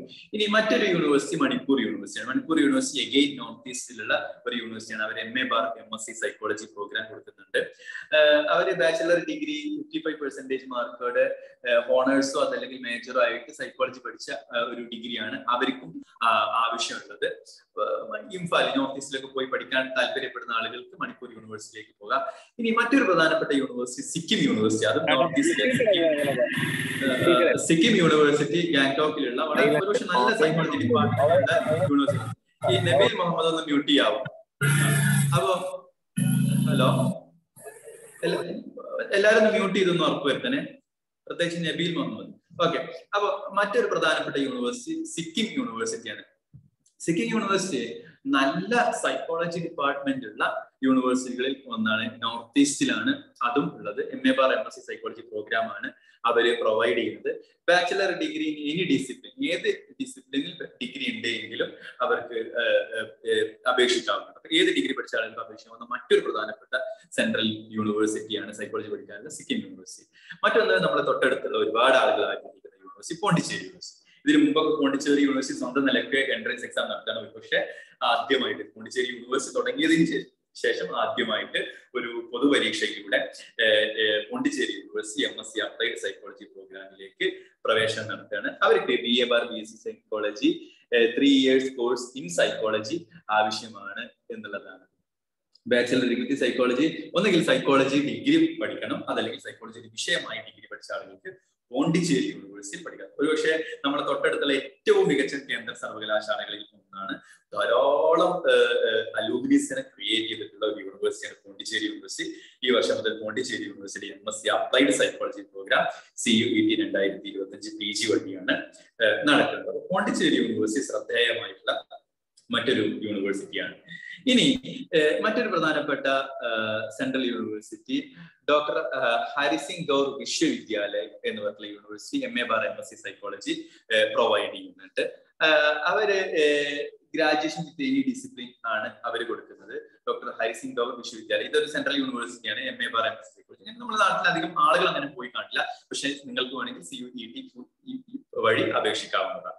മറ്റൊരു പ്രധാനപ്പെട്ട യൂണിവേഴ്സിറ്റി നമ്മുടെ നാട്ടിൽ ധാരാളം ആളുകൾ പോയി പഠിക്കുന്ന ഒരു മറ്റൊരു പ്രധാനപ്പെട്ട സെൻട്രൽ യൂണിവേഴ്സിറ്റിയാണ് ഇന്ദിരാഗാന്ധി നാഷണൽ ട്രൈബൽ യൂണിവേഴ്സിറ്റി. അവർക്കുണ്ട് പിന്നെ മധ്യപ്രദേശിലുള്ള ഒരുപക്ഷെ tribal S C S C tribal വിഭാഗങ്ങൾക്ക് വേണ്ടിയിട്ട് സ്ഥാപിച്ച Indira Gandhi national tribal university Amarkantak അവിടെ M A C psychology program കൊടുക്കുന്നുണ്ട് bachelor degree in any discipline from recognised university ആണ് അവരും പറയുന്നത്. അൻപത് ശതമാനം മാർക്കോട് കൂടി ഏത് ഡിഗ്രി പഠിച്ച ആളുകൾക്കും അവരുടെ M A bar M S C psychology പഠിക്കാവുന്നതാണ്. അപ്പോ ഇതും ധാരാളം മലയാളികൾ പഠിക്കുന്ന യൂണിവേഴ്സിറ്റിയാണ് I G I G N N T U എന്ന് പറയുന്ന ഇന്ദിരാഗാന്ധി നാഷണൽ ട്രൈബൽ യൂണിവേഴ്സിറ്റി എന്ന് പറയുന്ന യൂണിവേഴ്സിറ്റി. ഇനി ബാബേ സാഹിബ് ഭീംറാവ് അംബേദ്കർ യൂണിവേഴ്സിറ്റി ഉണ്ട്. അവർ M S C program in human development and family studies എന്ന് പറയുന്ന ഒരു കോഴ്സ് കൊടുക്കുന്നുണ്ട് more equal to psychology program ആണ്. M S C program in human development and family studies എന്ന് പറയുന്ന program B S C in home science psychology zoology botany chemistry B S C early childhood development പോലുള്ള പ്രോഗ്രാമുകളാണ് eligibility criteria നമ്മളുടെ P G Q P entrance exam വഴിയാണ് P G Q P നാൽപ്പത്തി ആറ് psychology entrance പരീക്ഷ വഴിയാണ് Bhimrao Ambedkar university Babe Sahib Bhimrao Ambedkar യൂണിവേഴ്സിറ്റിയിലെ M S C program human development and family സ്റ്റഡീസിലേക്കും ഉള്ള പ്രവേശനം. മറ്റൊരു പ്രധാനപ്പെട്ട യൂണിവേഴ്സിറ്റി ഒരുപക്ഷെ ഈ യൂണിവേഴ്സിറ്റി പരീക്ഷയ്ക്ക് സി യു ഡി ടി പരീക്ഷയിലെ ഒരുപക്ഷെ ഏറ്റവും മികച്ച കേന്ദ്ര സർവകലാശാല എന്ന് പറയാവുന്ന university Banaras Hindu യൂണിവേഴ്സിറ്റിയാണ് B H U Banaras Hindu university M A bar M S C program psychology കൊടുക്കുന്നുണ്ട്. B A bar B S C honours program psychology ആണ് പഠിക്കേണ്ടത്. അല്ലെങ്കിൽ സൈക്കോളജി ഒരു വിഷയമായി പഠിച്ചിട്ടുള്ള B A B A B S C program ഉള്ള ആളുകൾക്ക് Banaras Hindu university M A bar M S C psychology പഠിക്കാവുന്നതാണ്. ഒരു പക്ഷേ നമ്മുടെ C U E T program C U E T P G എൻട്രൻസിലെ ഏറ്റവും മികച്ച കേന്ദ്ര സർവകലാശാലയായിട്ട് നമുക്ക് വേണമെങ്കിൽ ബനാറസ് ഹിന്ദു യൂണിവേഴ്സിറ്റിയെ പരിഗണിക്കാവുന്നതാണ്. മറ്റൊരു പ്രൈവറ്റ് യൂണിവേഴ്സിറ്റി യു ഇ ടിയിൽ അപെക്സ് യൂണിവേഴ്സിറ്റി രാജസ്ഥാനാണ്. അവർ M S C psychology program കൊടുക്കുന്നുണ്ട്. ഏത് ഡിഗ്രി പഠിച്ച ആളുകൾക്കും അപേക്ഷിക്കാവുന്നതാണ്. ഒരു പ്രൈവറ്റ് യൂണിവേഴ്സിറ്റി വരുന്നത് അപെക്സ് യൂണിവേഴ്സിറ്റി രാജസ്ഥാനിലെ ആണ്. അത് ഇപ്പൊ ഇത്രയും പ്രോഗ്രാമുകളാണ് ഇത്രയും യൂണിവേഴ്സിറ്റികളും ഇത്രയും പ്രോഗ്രാമുകളും ആണ്. സി യു ഇ ടി രണ്ടായിരത്തി ഇരുപത്തിരണ്ട് പി ജി വഴി നൽകുന്ന പ്രധാനപ്പെട്ട പ്രോഗ്രാമുകൾ ഇതാണ് സൈക്കോളജിയുമായി ബന്ധപ്പെട്ട സൈക്കോളജി അല്ലാതെ എനിക്ക് തോന്നുന്നത് മൊത്തം ആയിരത്തിൽ ചില്ലാനും പ്രോഗ്രാമുകളും യൂണിവേഴ്സിറ്റികളിൽ പ്രോഗ്രാമുകളായിട്ട് C U E T P G നൽകുന്നുണ്ട്. ഒട്ടുമിക്ക എല്ലാ യൂണിവേഴ്സിറ്റി എൻട്രൻസ് പരീക്ഷയുടെയും പാറ്റേൺ എല്ലാ കോഴ്സുകളുടെയും പാറ്റേൺ ഇരുപത്തി അഞ്ച് ചോദ്യം ജനറൽ ആണ്. നിങ്ങളുടെ പൊതുവായ ബുദ്ധിയെ പരിശോധിക്കാൻ ബാക്കി എഴുപത്തി അഞ്ച് സബ്ജക്ട് സ്പെസിഫിക് ആയിട്ടുള്ള ഒരു ഒരു പ്രോഗ്രാം ഒരു ഒരു ഒരു ക്വസ്റ്റ്യൻ ആയിരിക്കും ഉണ്ടാവുക. ഇനി സൈക്കോളജി അപ്പൊ രണ്ട് പാർട്ടുകൾ ഉണ്ടാകും. പാർട്ട് എ പാർട്ട് ബി എന്ന് പറയുന്ന രീതി. Part A general aptitude question ആണ്. അത് ഇരുപത്തിയഞ്ച് ചോദ്യങ്ങളായിരിക്കും ഉണ്ടാവുക. അപ്പൊ നമ്മുടെ സൈക്കോളജി എൻട്രൻസിനെ സംബന്ധിച്ചാണ് ഞാൻ പറയുന്നത്. ഇത് ഇപ്പോ ഞാൻ നേരത്തെ പറഞ്ഞ യൂണിവേഴ്സിറ്റികളിലേക്കൊക്കെയുള്ള ഒരു പ്രോഗ്രാം ആണ്. നമ്മുടെ പേപ്പറിന്റെ പേര് P G Q S forty six നാൽപ്പത്തി ആറ് എന്നുള്ളതാണ് നമ്മുടെ പേപ്പർ ഈ പേപ്പറാണ് നമ്മൾ എഴുതേണ്ടത്. നമ്മൾ ഈ സ്ലോട്ട് തെരഞ്ഞെടുക്കുന്ന സമയത്തൊക്കെ ഇത് നോക്കേണ്ടതുണ്ട് കേട്ടോ. അതിലെ പാർട്ടി എയിലെ general object first general paper party A paper ഇരുപത്തിയഞ്ച് ക്വസ്റ്റ്യൻസ് ആയിരിക്കും ഉണ്ടാവുക. അതിൽ പ്രധാനമായിട്ടും വരുന്നത് including English general awareness mathematical aptitude analytical skill ഒന്ന് ഇംഗ്ലീഷ് ഇംഗ്ലീഷിൽ പൊതുവെ വേർബൽ എബിലിറ്റിയും റീഡിംഗ് കോംപ്രിഹെൻഷനുമായിട്ടും ചെക്ക് ചെയ്യാം പിന്നെ ഒന്ന് ജനറൽ അവയർനെസ് പൊതു അവബോധത്തെ ചെക്ക് ചെയ്യാൻ വേണ്ടി ജനറൽ നോളജ്സും കറന്റ് അഫേഴ്സിനും ചോദ്യങ്ങൾ ഉണ്ടാവാം പിന്നെ മാത്തമാറ്റിക്കൽ ന്യൂമറിക്കൽ ആപ്റ്റിറ്റ്യൂഡ് കുറച്ച് മാത്തമാറ്റിക്കൽ ആയ ചോദ്യങ്ങൾ ഉണ്ടാകും അതിന് അവസാനം ഒരു അനലറ്റിക്കൽ റീസണിങ് ക്വസ്റ്റ്യൻസും ഉണ്ടാകും. ഈ ഇരുപത്തിയഞ്ച് ചോദ്യങ്ങളാണ് നിങ്ങൾക്ക് സൈക്കോളജിക്ക് പുറമേ നിന്ന് ചോദിക്കുന്ന ചോദ്യങ്ങൾ ഉണ്ടാകും ഇനി അടുത്തത് ബാക്കി എഴുപത്തിയഞ്ച് ചോദ്യങ്ങൾ എഴുപത്തഞ്ച് സബ്ജക്ട് ഡൊമൈൻ സബ്ജക്റ്റുമായി ബന്ധപ്പെട്ടതാണ് അപ്പോ ഡൊമൈൻ സബ്ജക്റ്റിൽ എഴുപത്തഞ്ച് മൾട്ടിപ്പിൾ ചോയ്സ് ക്വസ്റ്റ്യൻസിൽ എന്തൊക്കെയാണ് വരുന്നത്? ഒന്ന് ഇൻട്രൊഡക്ഷൻ ടു സൈക്കോളജി സൈക്കോളജിയുടെ ഇൻട്രൊഡക്ഷൻ നിങ്ങൾ ഒരുപക്ഷെ നിങ്ങൾ പഠിച്ച ഏത് പുസ്തകത്തിന്റെയും പേഴ്സ്പെക്റ്റീവിൽ നിന്ന് നിങ്ങൾക്ക് ചിന്തിക്കാവുന്നതാണ്. രണ്ട് ഹിസ്റ്ററി ഓഫ് സൈക്കോളജി സൈക്കോളജിയുടെ ചരിത്രം. എങ്ങനെയാണ് സൈക്കോളജി വന്നത് എന്നുള്ളതുമായി ബന്ധപ്പെട്ട് സ്കൂൾസ് ഓഫ് സൈക്കോളജി സൈക്കോളജിയിലെ സ്കൂൾസ് പല തരത്തിലുള്ള psycho analytic behaviourism structuralism functionalism cognitive psychology ഇങ്ങനെ പല നിരക്കും പണ്ടത് biological bases of behaviour biological base of behaviour central nervous സിസ്റ്റത്തെ കുറിച്ചിട്ട് അതുപോലെ തന്നെ നമ്മളുടെ ഹോർമോണൽ സിസ്റ്റത്തെ കുറിച്ച് എങ്ങനെ ബയോളജിക്കൽ ബേസ് ഓഫ് ബിഹേവിയർ എന്ന് പറയുന്നത് learning memory sensation perception learning വളരെ പ്രധാനപ്പെട്ട മേഖലയാണ്. ലേണിംഗ് വളരെ വിപുലമായിട്ട് ജനറൽ സൈക്കോളജി പഠിക്കുന്നതാണ്. മെമ്മറി സെൻസേഷൻ വരുന്നുണ്ട്. മെമ്മറി വളരെ പ്രധാനപ്പെട്ട ഒരു മേഖലയാണ്. സെൻസേഷൻ പെർസെപ്ഷൻ വളരെ പ്രധാനപ്പെട്ടതാണ്. ഇമോഷൻ ആൻഡ് മോട്ടിവേഷൻ വളരെ ഇതൊക്കെ ജനറൽ സൈക്കോളജി നമ്മൾ പഠിക്കുന്ന ഒന്നാണ്. ഇന്റലിജൻസ് വളരെ പ്രധാനപ്പെട്ട ഒരു മേഖലയാണ്. പേഴ്സണാലിറ്റി സൈക്കോളജി പേഴ്സണാലിറ്റി എന്ന് പറയുന്ന ഒരു മേഖല വളരെ പ്രധാനപ്പെട്ട ഒരു മേഖലയാണ്. സൈക്കോളജിക്കൽ ടെസ്റ്റിംഗ് വരുന്നുണ്ട്. സൈക്കോളജിയുടെ അസസ്മെന്റുകൾ ടെസ്റ്റിംഗ് കുറിച്ച് ലൈഫ് സ്പാൻ ഡെവലപ്മെന്റ് നമ്മൾ വിപുലമായ ഒരു പേപ്പറായി തന്നെ പഠിക്കുന്നതാണ് ലൈഫ് സ്പാൻ ഡെവലപ്മെന്റ് ചൈൽഡ് ഡെവലപ്മെന്റുമായി ബന്ധപ്പെട്ട്. പിന്നെ abnormal abnormal and clinical psychology വരുന്നുണ്ട്. രോഗങ്ങളെ കുറിച്ച് ചികിത്സയെ കുറിച്ചൊക്കെ പറയുന്ന abnormal and clinical psychology and statistics for psychology സൈക്കോളജിയുമായി ബന്ധപ്പെട്ട പ്രാഥമികമായ റിസർച്ച് ആൻഡ് സ്റ്റാറ്റിസ്റ്റിക്സ് ഇതാണ് പാർട്ട് ബിയിൽ നിന്ന് എഴുപത്തഞ്ച് ചോദ്യങ്ങൾ വരുന്ന സൈക്കോളജിയുടെ വളരെ പ്രധാനപ്പെട്ട ഒരു മേഖല. പാർട്ട് ബിയിൽ വരുന്ന സൈക്കോളജിയുമായി ബന്ധപ്പെട്ട് വരുന്ന വളരെ പ്രധാനപ്പെട്ട ഒരു മേഖല. അപ്പൊ ഇതാണ് എൻട്രൻസ് അപ്പോൾ എനിക്ക് തോന്നുന്നത് വളരെ നന്നായി പ്രിപ്പയർ ചെയ്യുന്ന ആളുകൾക്ക് വളരെ പുഷ്പം പോലെ നല്ല മാർക്ക് സ്കോർ ചെയ്യാവുന്നതാണ് എന്നുള്ളതാണ്. ഇനി എങ്ങനെയാണ് ഇത് ഒരു സി ബി ടി ബേസ്ഡ് പരീക്ഷയാണ്. കമ്പ്യൂട്ടർ ബേസ്ഡ് പരീക്ഷയാണ്. എന്ന് പറഞ്ഞു കഴിഞ്ഞാൽ നിങ്ങൾ എക്സാം നടക്കുന്നത് ഒരു നിങ്ങൾ ഇതുപോലത്തെ എക്സാം എഴുതിയിട്ടുണ്ടാകും എന്നുള്ളതാണ് എന്റെ ഒരു എന്തെങ്കിലും ഒരു എഞ്ചിനീയറിംഗ് കോളേജിലെ കമ്പ്യൂട്ടർ ലാബിലായിരിക്കും നിങ്ങൾ പോകേണ്ടി വരിക നിങ്ങൾക്ക് മുന്നിൽ ഒരു സ്ക്രീൻ ഉണ്ടാകും. നിങ്ങൾ ആപ്ലിക്കേഷൻ നമ്പർ മറ്റും അയച്ചു കൊടുത്തു കഴിഞ്ഞാൽ സ്ക്രീൻ മുന്നിൽ തെളിയും. ചോദ്യങ്ങൾ ഓരോന്ന് വരും. നിങ്ങൾ കറക്റ്റ് ആൻസർ ഏതാണ് നിങ്ങൾ ക്ലിക്ക് ചെയ്തിട്ട് കൺഫേം ചെയ്ത് കൊടുത്ത് അങ്ങനെയാണ് ഈ നൂറ്റി ഇരുപത് മിനിറ്റ് രണ്ട് മണിക്കൂർ കൊണ്ട് നിങ്ങൾ ഇരുന്നൂറ് ക്വസ്റ്റ്യൻസ് ഇരുപത് ക്വസ്റ്റ്യൻസ് ജനറൽ പേപ്പറിൽ നിന്നും ബാക്കി എഴുപത്തിയഞ്ച് ക്വസ്റ്റ്യൻസ് സബ്ജക്ട് പേപ്പറിൽ നിന്നും എഴുതേണ്ടത് എന്നതാണ്. ഓരോ ശരി ഉത്തരത്തിനും നാല് മാർക്ക് കിട്ടും. ഓരോ തെറ്റായ ഉത്തരത്തിനും ഒരു മാർക്ക് കുറയും. ഉദാഹരണത്തിന് പത്ത് ചോദ്യങ്ങൾ നിങ്ങൾ ശരി ആൻസർ കിട്ടിയ പത്ത് നിങ്ങൾ നൂറ് ഈ പത്ത് ചോദ്യങ്ങൾക്ക് ശരിയായ ആൻസർ കൊടുത്തെങ്കിൽ നാൽപ്പത് മാർക്ക് കിട്ടും. പക്ഷെ പത്ത് ചോദ്യം നിങ്ങൾ തെറ്റിച്ചാൽ ഈ നാൽപ്പത് മാർക്കിന് പത്ത് മാർക്ക് കുറയും. എന്ന് പറഞ്ഞു കഴിഞ്ഞാൽ ശരിയായ ഉത്തരത്തിന് നാല് മാർക്ക് തെറ്റായ ഉത്തരത്തിന് ഒരു മാർക്ക് കുറയും. അൺഅറ്റൻഡ് ക്വസ്റ്റ്യൻസിന് മാർക്ക് കിട്ടുകയോ കുറയുകയോ ചെയ്യുകയില്ല എന്നുള്ളതാണ്. പിന്നെ ഏതെങ്കിലും ക്വസ്റ്റ്യൻ തെറ്റാണെങ്കിൽ നിങ്ങൾക്ക് ആ തെറ്റാണ് എന്ന് പിന്നീട് ചലഞ്ച് ചെയ്യപ്പെടുകയാണെങ്കിൽ അതിന്റെ മാർക്ക് പിന്നീട് നൽകുന്നതാണ് എന്നുള്ളതാണ് അത് അറ്റൻഡ് ചെയ്യുകയാണെങ്കിൽ. അപ്പോൾ അതിന്റെ ഡീറ്റെയിൽസ് ഒക്കെ ബുള്ളറ്റിന് ലഭ്യമാണ് എന്നതാണ് എന്നിട്ട് നിങ്ങളെ സ്കോറുകൾ അതായത് യൂണിവേഴ്സിറ്റിയിൽ നടത്തും. അപ്പൊ എൻ ടി ഐ പരീക്ഷ നടത്തും. എൻ ടി അല്ല അലോട്ട്മെന്റ് നടത്തും. എൻ ടി ഐയുടെ ആകെ ഉദ്ദേശം ഈ ഈ ഇങ്ങനെ നോട്ടിഫിക്കേഷൻ വിളിക്കുക. അപേക്ഷ പ്രോസസ് വളരെ ക്ലിയർ ചെയ്യുക അപേക്ഷ പ്രോസസ് ക്ലിയർ ചെയ്തിട്ട് നിങ്ങൾക്ക് എന്താണ് ഹാൾ ടിക്കറ്റ് ഇടുക.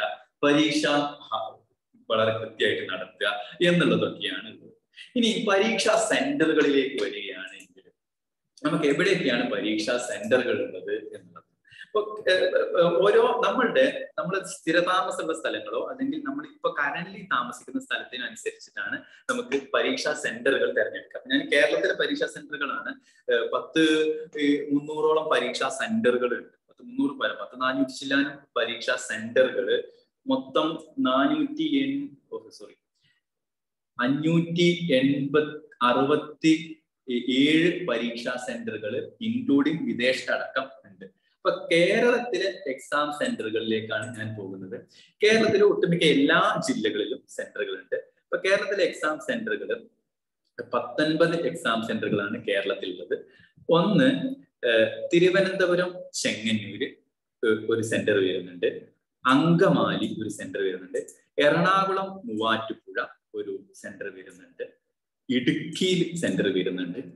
കണ്ണൂരിൽ സെന്റർ വരുന്നുണ്ട്.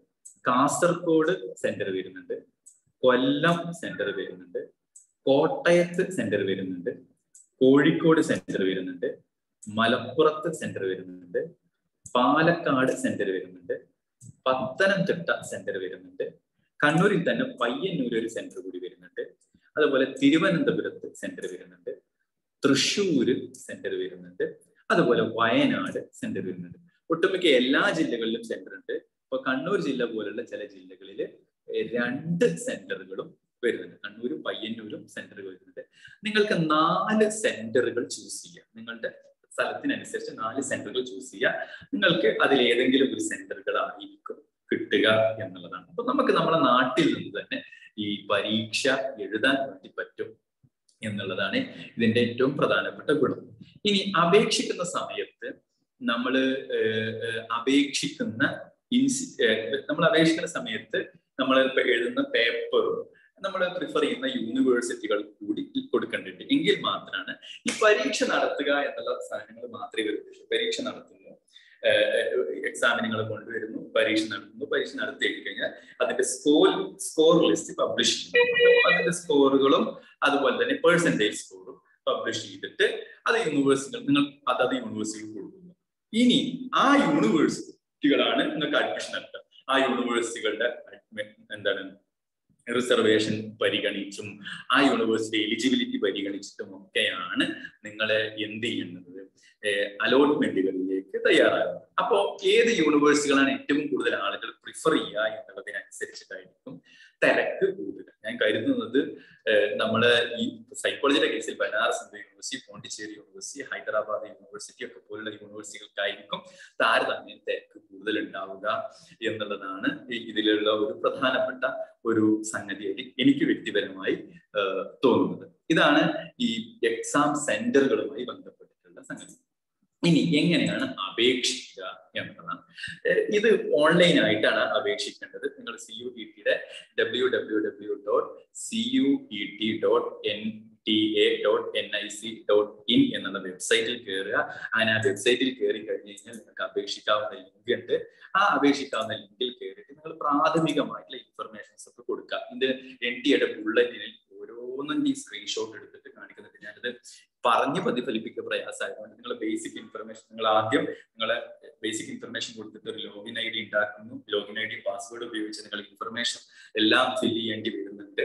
നിങ്ങൾ കമ്മ്യൂണിക്കേഷൻ ഫാമിലി നിങ്ങൾ ആധാർ കാർഡ് നിങ്ങൾ ഏതെങ്കിലും ആധാർ കാർഡ് ഫില്ല് ചെയ്യേണ്ടതുണ്ട്. ഇനി അതിനുശേഷം നിങ്ങളുടെ ഫോട്ടോ നിങ്ങളുടെ സൈൻഡ് ഫോട്ടോ ഉണ്ട്. ഫോട്ടോയുടെ എത്ര മറ്റേ എന്താണ് ഇതിലുള്ളതാണ്. എന്ത് ബാക്ക്ഗ്രൗണ്ട് ആണ്? ചെവി കാണണം ഫോട്ടോ ആണ്. മാസ്ക് ഇല്ലാത്ത ഫോട്ടോ വേണം. പ്ലെയിൻ ബാക്ക്ഗ്രൗണ്ട് വേണം. ഒപ്പിടണം എന്നുള്ളതൊക്കെ അതിലുണ്ട്. അതുപോലെ സിഗ്നേച്ചർ അപ്ലോഡ് ചെയ്യേണ്ടതുണ്ട്. പിന്നെ ഏതെങ്കിലും റിസർവേഷൻ കാറ്റഗറി ഉണ്ടെങ്കിൽ അതും അപ്ലോഡ് ചെയ്യേണ്ടതുണ്ട്. അങ്ങനെ പി ഡബ്ല്യു ഡി ആയിട്ടുള്ള ആൾക്കാർ അങ്ങനെ അപ്ലോഡ് ചെയ്യേണ്ടതുണ്ട്. അത് അപ്ലോഡ് ചെയ്തിട്ട് നിങ്ങൾക്ക് യൂണിവേഴ്സിറ്റികൾ ഇൻസ്റ്റിറ്റ്യൂഷനുകൾ പരീക്ഷകൾ തിരഞ്ഞെടുക്കാം. പരീക്ഷാ സ്ലോട്ടുകൾ തിരഞ്ഞെടുക്കാം. പരീക്ഷ സ്ലോട്ടുകൾ തിരഞ്ഞെടുത്തതിന് ശേഷം സബ്മിറ്റ് ചെയ്യുക. അത് ചെയ്ത് കഴിഞ്ഞാൽ ഇത് ഓരോ യൂണിവേഴ്സിറ്റികൾക്കോ എൻ ഡി എക്കോ അയക്കേണ്ടതില്ല. അത് നിങ്ങൾ കയ്യിൽ വെക്കുക. അത് എടുത്തിട്ട് അതിന്റെ പ്രിന്റ് ഔട്ട് എടുത്തിട്ട് നിങ്ങൾക്ക് ഹാൾ ടിക്കറ്റ് വരുന്ന സമയം ഇന്ത്യയുടെ വെബ്സൈറ്റിൽ ഈ വെബ്സൈറ്റ് എപ്പോഴും ന്യൂ പുതിയ ന്യൂ ന്യൂസ് ന്യൂ ഇൻഫർമേഷൻസ് എപ്പോഴും ശ്രദ്ധിക്കുക.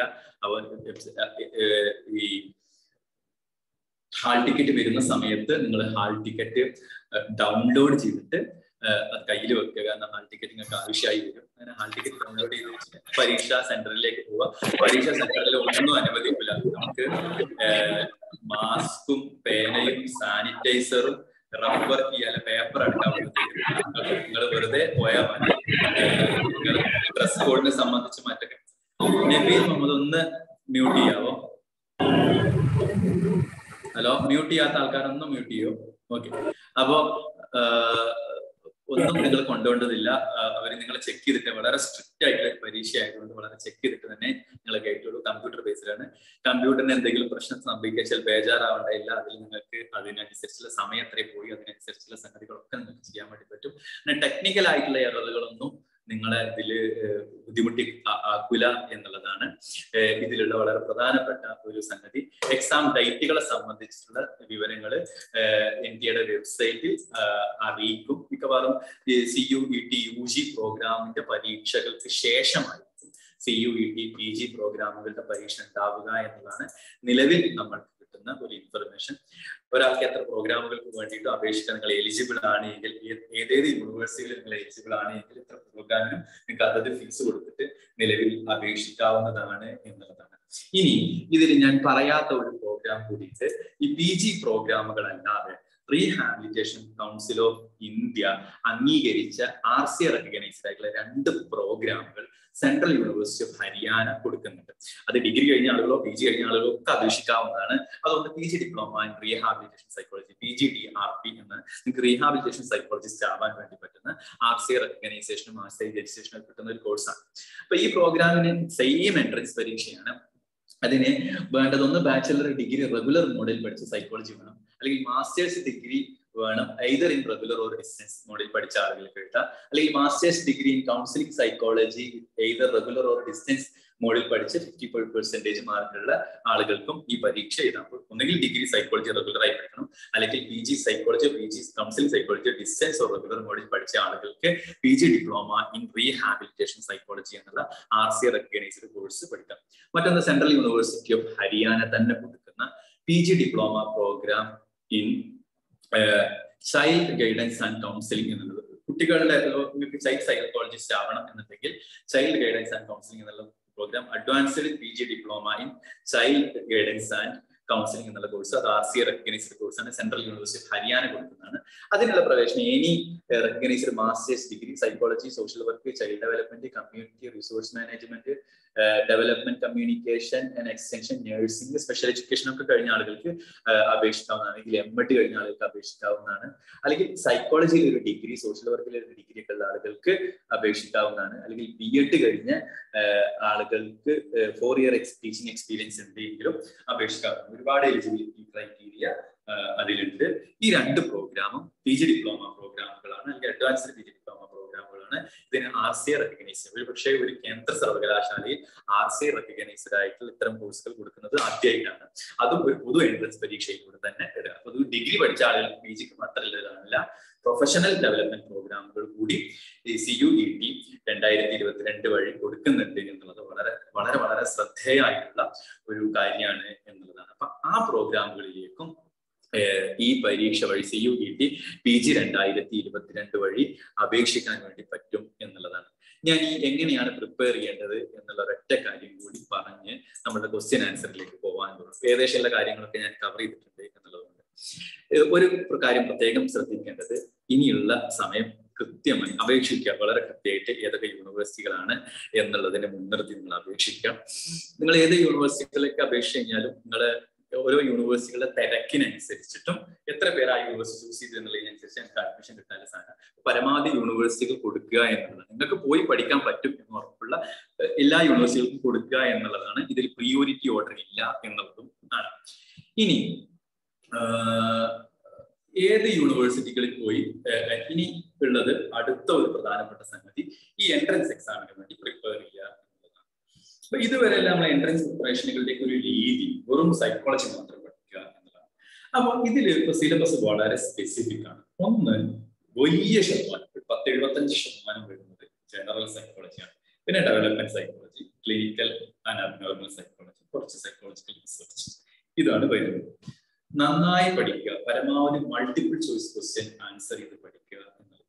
ജനറൽ പേപ്പർ ജനറൽ പേപ്പറിൽ general ability numerical ability verbal aptitude reason analytical reasoning ഒക്കെയാണ് വരുന്നത്. അപ്പൊ ആ ഇരുപത്തഞ്ച് ക്വസ്റ്റ്യൻ കൂടി ഇതാക്കണം. നമ്മൾ ഇതാക്കണം. ഇത് നിങ്ങൾ ഇനി നെറ്റ് പരീക്ഷ എഴുതുന്ന സമയത്തും സൈക്കോളജി സബ്ജക്ട് മാത്രമല്ല അൻപത് ശതമാനം ജനറൽ പേപ്പർ നിങ്ങൾ ജനറൽ ടീച്ചിങ് ആപ്റ്റിറ്റ്യൂഡ് നിങ്ങൾ എഴുതുന്നത് അപ്പോൾ ഒരു പൊതുവിജ്ഞാനം സൈക്കോളജി പഠിക്കുന്ന ആളുകൾക്ക് അനിവാര്യമാണ്. ജനറൽ മെന്റൽ എബിലിറ്റി അനിവാര്യമാണ്. നമ്മൾ ആളുകൾ ഐ ക്യു ടെസ്റ്റ് ഒക്കെ നടത്തി ഐ ക്യു ഒക്കെ നിർണയിക്കുന്ന ടീമാണല്ലോ അപ്പൊ അതുകൊണ്ട് ജനറൽ പേപ്പറിന് കൂടി പബ്ലിക് അപ്പൊ ജനറൽ വീക്കായ ആളുകൾ അതിനു കൂടി ഒരു ശ്രദ്ധ കൊടുക്കുക.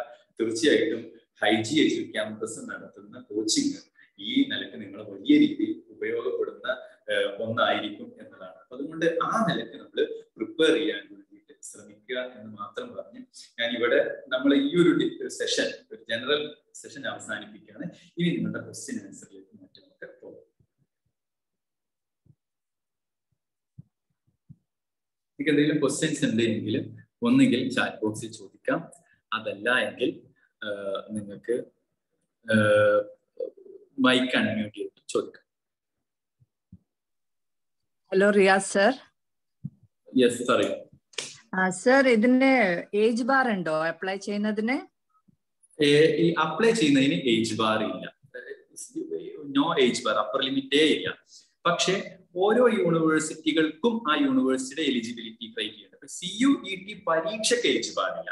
പക്ഷെ സി യു ഇ ടിയുടെ സ്കോർ പരിഗണിക്കുന്ന ഓരോ യൂണിവേഴ്സിറ്റികൾക്കും അഡ്മിഷന് അവരുടേതായിട്ടുള്ള ഒരു എലിജിബിലിറ്റി ഉണ്ട്. അപ്പൊ നിങ്ങൾ ഓരോ യൂണിവേഴ്സിറ്റികളുടെയും വെബ്സൈറ്റിൽ പോയിട്ട് അവർക്ക് ഏജ് ബാർ ഉണ്ടോ എന്നുള്ളത് കൂടി നോക്കേണ്ടതുണ്ട്. നോക്കേണ്ടി വരും നോക്കേണ്ടി വരും. അപ്പൊ സി യു ഇ ടിക്ക് ഏജ് ബാർ ഇല്ല. അത് നോ അപ്പർ ഏജ് ലിമിറ്റ് എന്നാണ് സി യു ടിയുടെ വെബ്സൈറ്റിൽ പറയുന്നത് ഒപ്പം തന്നെ നിങ്ങൾ അപേക്ഷിക്കുന്ന യൂണിവേഴ്സിറ്റിക്ക് ഏജ് ബാർ ഉണ്ടോ എന്നുള്ളത് യൂണിവേഴ്സിറ്റി വെബ്സൈറ്റിൽ ചെന്ന് നോക്കിയാൽ മനസ്സിലാവും. എല്ലാ ഇതിൽ പറഞ്ഞ എല്ലാ യൂണിവേഴ്സിറ്റികളും വളരെ കൃത്യമായി അവരുടേതായ ഇൻഫർമേഷൻ ബുള്ളറ്റിൻസ് അവരുടെ വെബ്സൈറ്റിൽ ഉണ്ട് കേട്ടോ. അതിന്റെ എല്ലാ യൂണിവേഴ്സിറ്റികളും പാർട്ടിസിപ്പേറ്റിംഗ് യൂണിവേഴ്സിറ്റിയുടെ വെബ്സൈറ്റ് ലിസ്റ്റും ഇൻഫർമേഷൻ ബുള്ളറ്റിൽ അവൈലബിൾ ആണ്. ഓക്കെ ഓക്കെ സർ വേറെ questions Anyone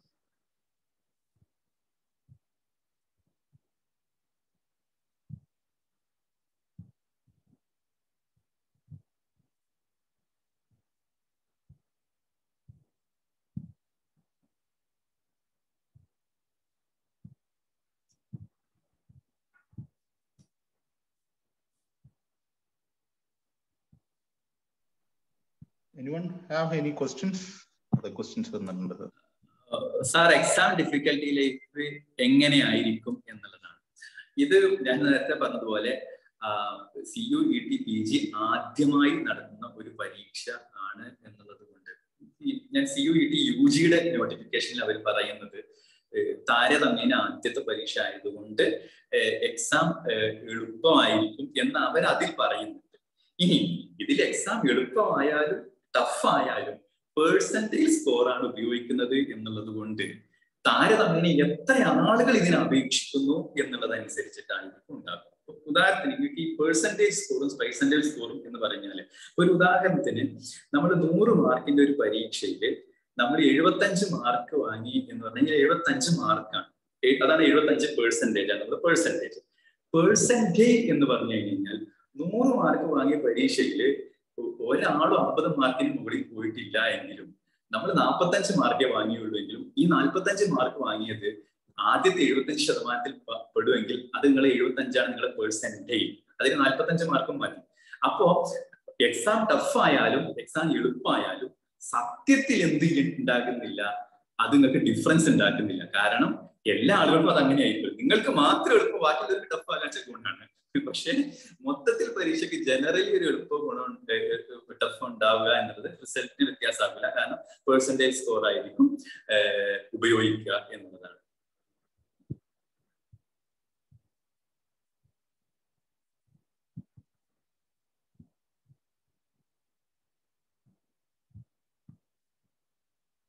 ഓക്കെ സാർ നമ്മൾ പ്രിഫർ ചെയ്യുന്ന യൂണിവേഴ്സിറ്റികൾക്ക് ലിമിറ്റേഷൻസ് ഉണ്ടോ? നിലവിൽ ലിമിറ്റേഷൻസ് ഇല്ല എന്നാണ് പ്രിഫർ ചെയ്യുന്ന അതിനുള്ളിൽ അഥവാ എൻ ഡി എയുടെ നോട്ടിഫിക്കേഷൻ ഉള്ളിൽ പറഞ്ഞ യൂണിവേഴ്സിറ്റി ചൂസ് ചെയ്യാൻ പറ്റുള്ളൂ. അത് എത്ര യൂണിവേഴ്സിറ്റികൾ വേണമെങ്കിലും ചൂസ് ചെയ്യാവുന്നതാണ്. അതിന് ലിമിറ്റ് ഉണ്ട്.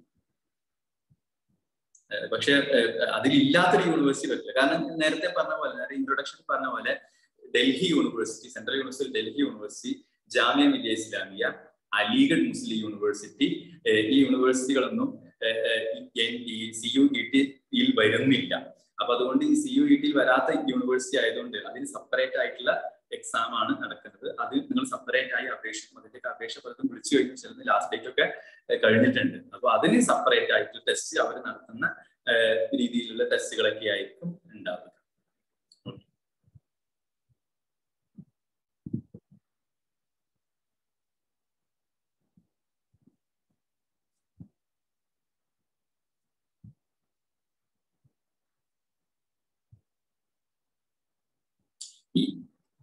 വേറെ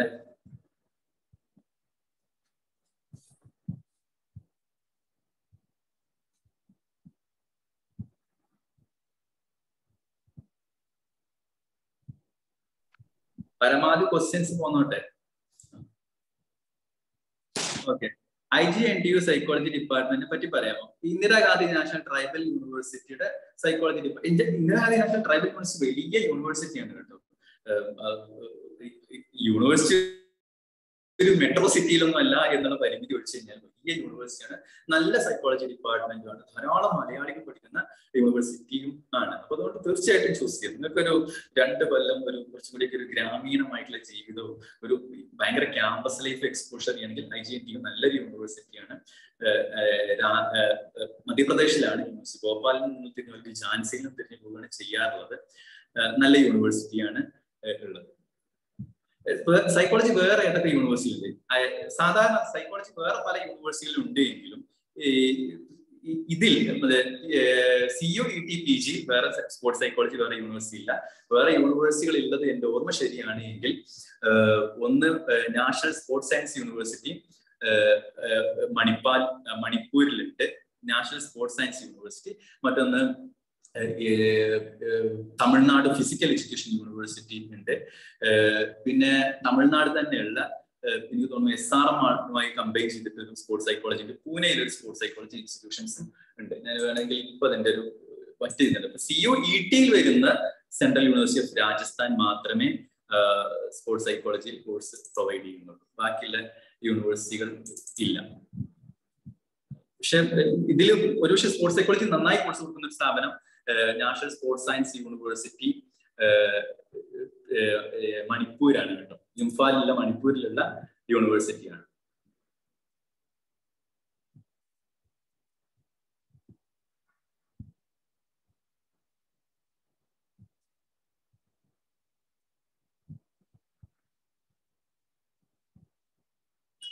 ആ സ്പോർട്സ് സൈക്കോളജിയിൽ കോഴ്സ് കൊടുക്കുന്ന സ്ഥാപനങ്ങൾ ഒന്ന് Tamil Nadu physical education university Guru Nanak Dev university Amritsar national sports university Manipur Indian institute of sports medicine Chennai.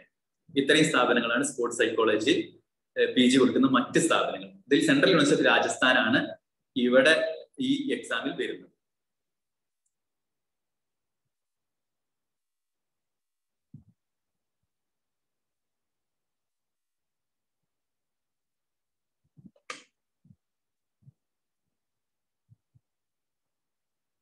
വേറെ ക്വസ്റ്റ്യൻ ഞാൻ നിങ്ങളെ ക്വസ്റ്റ്യൻസിന് പരമാവധി സമയം തരികയാണ്. ഇനി ഒരു ഒരു ഇൻഫർമേഷൻ കൂടിയാണ്. ഞങ്ങൾക്ക് ഈ സൈക്കോളജി ഒന്നും താല്പര്യം ഇല്ലാത്ത ആളുകൾ ഉണ്ട് എങ്കിലും മറ്റു പല പേപ്പറുകളും ആണെങ്കിൽ പഠിക്കാൻ പറ്റുന്ന ഒരു ഓപ്ഷൻ ഉണ്ട്. ഉദാഹരണത്തിന് ബി എഡ് സ്പെഷ്യൽ എഡ്യൂക്കേഷൻ നിങ്ങൾക്ക് പഠിക്കണം എന്ന് ആഗ്രഹം ഉണ്ട് എങ്കിൽ പ്ലസ് ടു കഴിഞ്ഞ് B Ed special education learning ഡിസബിലിറ്റിയും അതുപോലെ തന്നെ പിന്നെ B Ed special education learning disability അതുപോലെ തന്നെ എനിക്ക് തോന്നുന്നു ഹിയറിംഗ് ഇമ്പയർമെന്റ് ഈ രണ്ട് കോഴ്സുകൾക്ക് ഒരു യൂണിവേഴ്സിറ്റി ഞാൻ ഒറ്റ മിനിറ്റ് ഞാനത് പറഞ്ഞുതരാം. Learning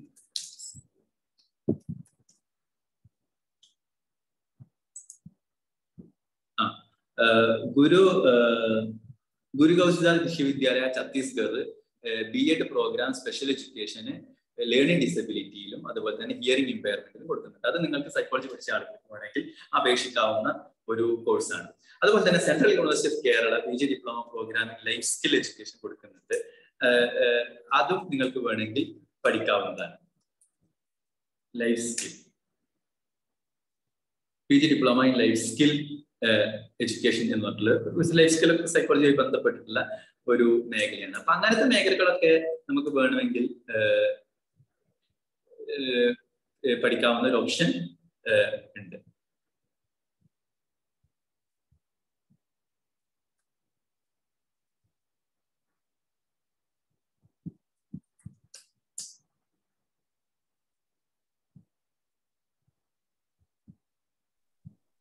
എക്സ്ക്യൂസ് മീ സർ പറഞ്ഞോളൂ. Degree in any discipline eligibility ആയിട്ട് വരുന്ന പി ജി കോഴ്സിന് എലിജിബിലിറ്റി ആയിട്ട് വരുന്ന സർ ഓൾറെഡി പറഞ്ഞു?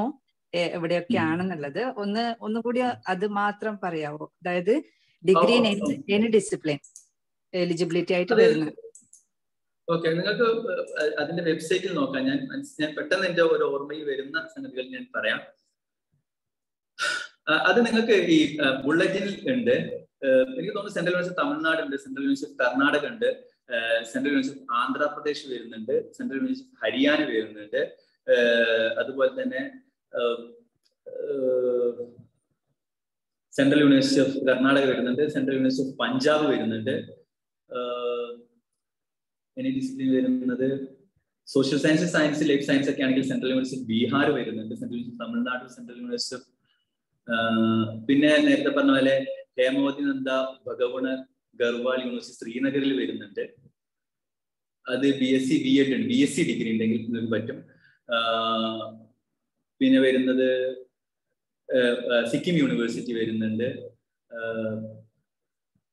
സെൻട്രൽ യൂണിവേഴ്സിറ്റി ഓഫ് ഹരിയാനയുടെ ചില പ്രോഗ്രാമുകൾക്ക് ബി എഡ് ഉണ്ടെങ്കിൽ ബി എഡ് എം എഡ് ഉണ്ടെങ്കിൽ പറ്റുന്നതാണ്. അങ്ങനെ മൊത്തത്തിൽ ഈ നിങ്ങൾ സി യു ഇ ടിയുടെ ഞാൻ അതിന്റെ വേണമെങ്കിൽ ഒരു ലിസ്റ്റ് ഉണ്ടാക്കാം. നിങ്ങളത് പറഞ്ഞത് നന്നായി. ഞാൻ ഇപ്പൊ ഇതെല്ലാം നോക്കിയിട്ട് ലിസ്റ്റ് ഉണ്ടാക്കാം അതല്ല എങ്കിൽ ബുള്ളറ്റിനിൽ ഒന്ന് നോക്കിക്കഴിഞ്ഞാൽ നമുക്ക് മനസ്സിലാവും. ഓക്കെ വേണമെങ്കിൽ ബുള്ളറ്റിന്റെ ലിങ്ക് വേണമെങ്കിൽ ഞാൻ അയച്ചു തരാം. അല്ലെങ്കിൽ ഹൈജി നിങ്ങൾക്ക് അയച്ചു തരാം. നിങ്ങൾ ആ നിനക്ക് ഹെൽപ്പ് ചെയ്യും. ഓക്കെ സാർ താങ്ക് യു ഇനി യൂണിവേഴ്സിറ്റി ഓഫ് ഹൈദരാബാദ് കൊടുക്കുന്ന M S C neural and cognitive science എന്നൊരു കോഴ്സ് ഉണ്ട്. M S C neural and cognitive science cognitive സയൻസിൽ സെൻട്രൽ യൂണിവേഴ്സിറ്റി ഓഫ് ഹൈദരാബാദ് വളരെ കിടിലനാണ്. അവിടെ വേണമെങ്കിൽ സോഷ്യൽ സയൻസിൽ നമ്മൾ സൈക്കോളജി ഡിഗ്രി പഠിച്ച ആളുകൾക്ക് വേണമെങ്കിൽ എൻട്രൻസ് എക്സാം എഴുതി പോകാം. അത് ഈ എൻട്രൻസ് അല്ല വേറെ പി ജി ക്യു പി മുപ്പത്തി എട്ടിൽ വരുന്ന എൻട്രൻസ് ആയിരിക്കും ഉണ്ടാവുക. കുറച്ചുകൂടി ജനറൽ എൻട്രൻസ് ആണ്. പക്ഷെ it is very near to cognitive science and cognitive psychology neural and cognitive science എന്നുള്ള ഒരു ഒരു പക്ഷേ കമ്പ്യൂട്ടർ ന്യൂറൽ ആൻഡ് കോഗ്നിറ്റീവ് സയൻസിന്റെ ടെസ്റ്റ് കോഡ് ഒന്നും കൂടി പറയാമോ P G Q P thirty eight മുപ്പത്തി എട്ട് ഞാൻ അതിന്റെ സിലബസ് പറയണോ? മുപ്പത്തിയെട്ട്. പി ജി ക്യു പി മുപ്പത്തി എട്ടിൽ ജനറലി എം ബി എക്കൊക്കെ വേണ്ടി നടത്തുന്ന എൻട്രൻസിന്റെ ഇതിൽ വരുന്നതാണ്. This question paper will be hundred multiple question paper ഉണ്ടാവുക. അതിൽ English English verbal ability reading comprehension verbal reasoning ഒക്കെ ഉണ്ട് റീഡിംഗ് കോമ്പ്രിഹെൻഷൻ പിന്നെ മാത്സ് ക്വാണ്ടിറ്റേറ്റീവ് എബിലിറ്റി വരും.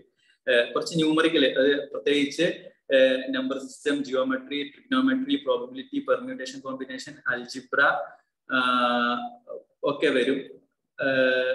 Percentage profit loss quadratic and linear equations കുറച്ച് വരും. കുറച്ച് മാത്സ് വരും. പിന്നെ ഡാറ്റ ഇന്റർപ്രിട്ടേഷൻ വരും ഡാറ്റ അനാലിസിസ് വരും ടേബിൾ അനാലിസിസ് വരും ഗ്രാഫ് അനാലിസിസ് വരും. Logical reasoning clock calendar binary logic ഒക്കെ വരും. കുറച്ചുകൂടി ലോജിക്കൽ റീസണിങ് ഒക്കെ ആയിരിക്കും. എം ബി എക്ക് നടത്തുന്ന എൻട്രൻസ് ടെസ്റ്റുകളുടെ ഉള്ളിൽ വരുന്ന ഒരു എക്സാ ഒരു ഇതാണ്.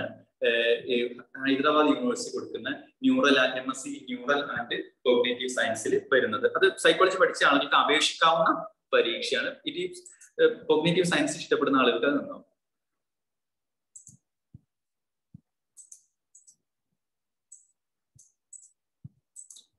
ഇനി എനി ഡിഗ്രി ഇല്ല ആളുകൾക്ക് അപേക്ഷിക്കാവുന്ന പല കോഴ്സുകളിലേക്ക് വേണമെങ്കിൽ സൈക്കോളജിക്കാർക്ക് അപേക്ഷിക്കാവുന്ന ഒരു ഓപ്ഷൻ ഒക്കെ ഉണ്ട് കേട്ടോ.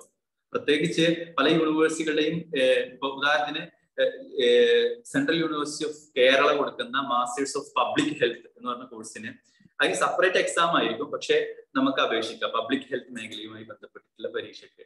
ഇനി എം എ ലിംഗ്വിസ്റ്റിക്സ് എന്ന് പറഞ്ഞ പ്രോഗ്രാം ബനാറസ് ഹിന്ദു യൂണിവേഴ്സിറ്റിയിൽ നമുക്ക് അപേക്ഷിക്കാവുന്ന പ്രോഗ്രാമാണ് അതുപോലെ തന്നെ M S C forensic science Banaras Hindu university forensic സയൻസിലെ M S C പ്രോഗ്രാമിന് പിന്നെ നമുക്ക് അപേക്ഷിക്കാവുന്നതാണ്. അത് പി ജി ക്യു പി പതിനാറാണ് അതിന്റെ ക്വസ്റ്റ്യൻ പേപ്പർ സൈക്കോളജി പഠിച്ച ആളുകൾക്ക് അപേക്ഷിക്കാവുന്ന ഒരു പേപ്പറാണ് ഇനി വരുന്നത് വേറെ വരുന്നത് Indira Gandhi national tribal university M A economics നമുക്ക് അപേക്ഷിക്കാവുന്നതാണ്.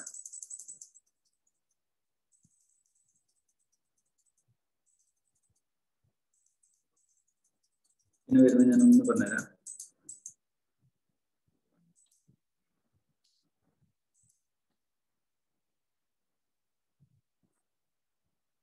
ഇതൊക്കെയാണ് പ്രധാനമായിട്ടുള്ള ഇത്. പിന്നെ ഇനി ഡിഗ്രി വരുന്ന ഏത് എൻട്രൻസിനും നമുക്ക് വേണമെങ്കിൽ അപേക്ഷിക്കാവുന്നതാണ്. അത് നിങ്ങളുടെ ഇഷ്ടത്തിനനുസരിച്ച് പലതരത്തിലുള്ള കോഴ്സുകളുണ്ട്. ഇഷ്ടത്തിനനുസരിച്ച് ചെയ്യാവുന്നതാണ്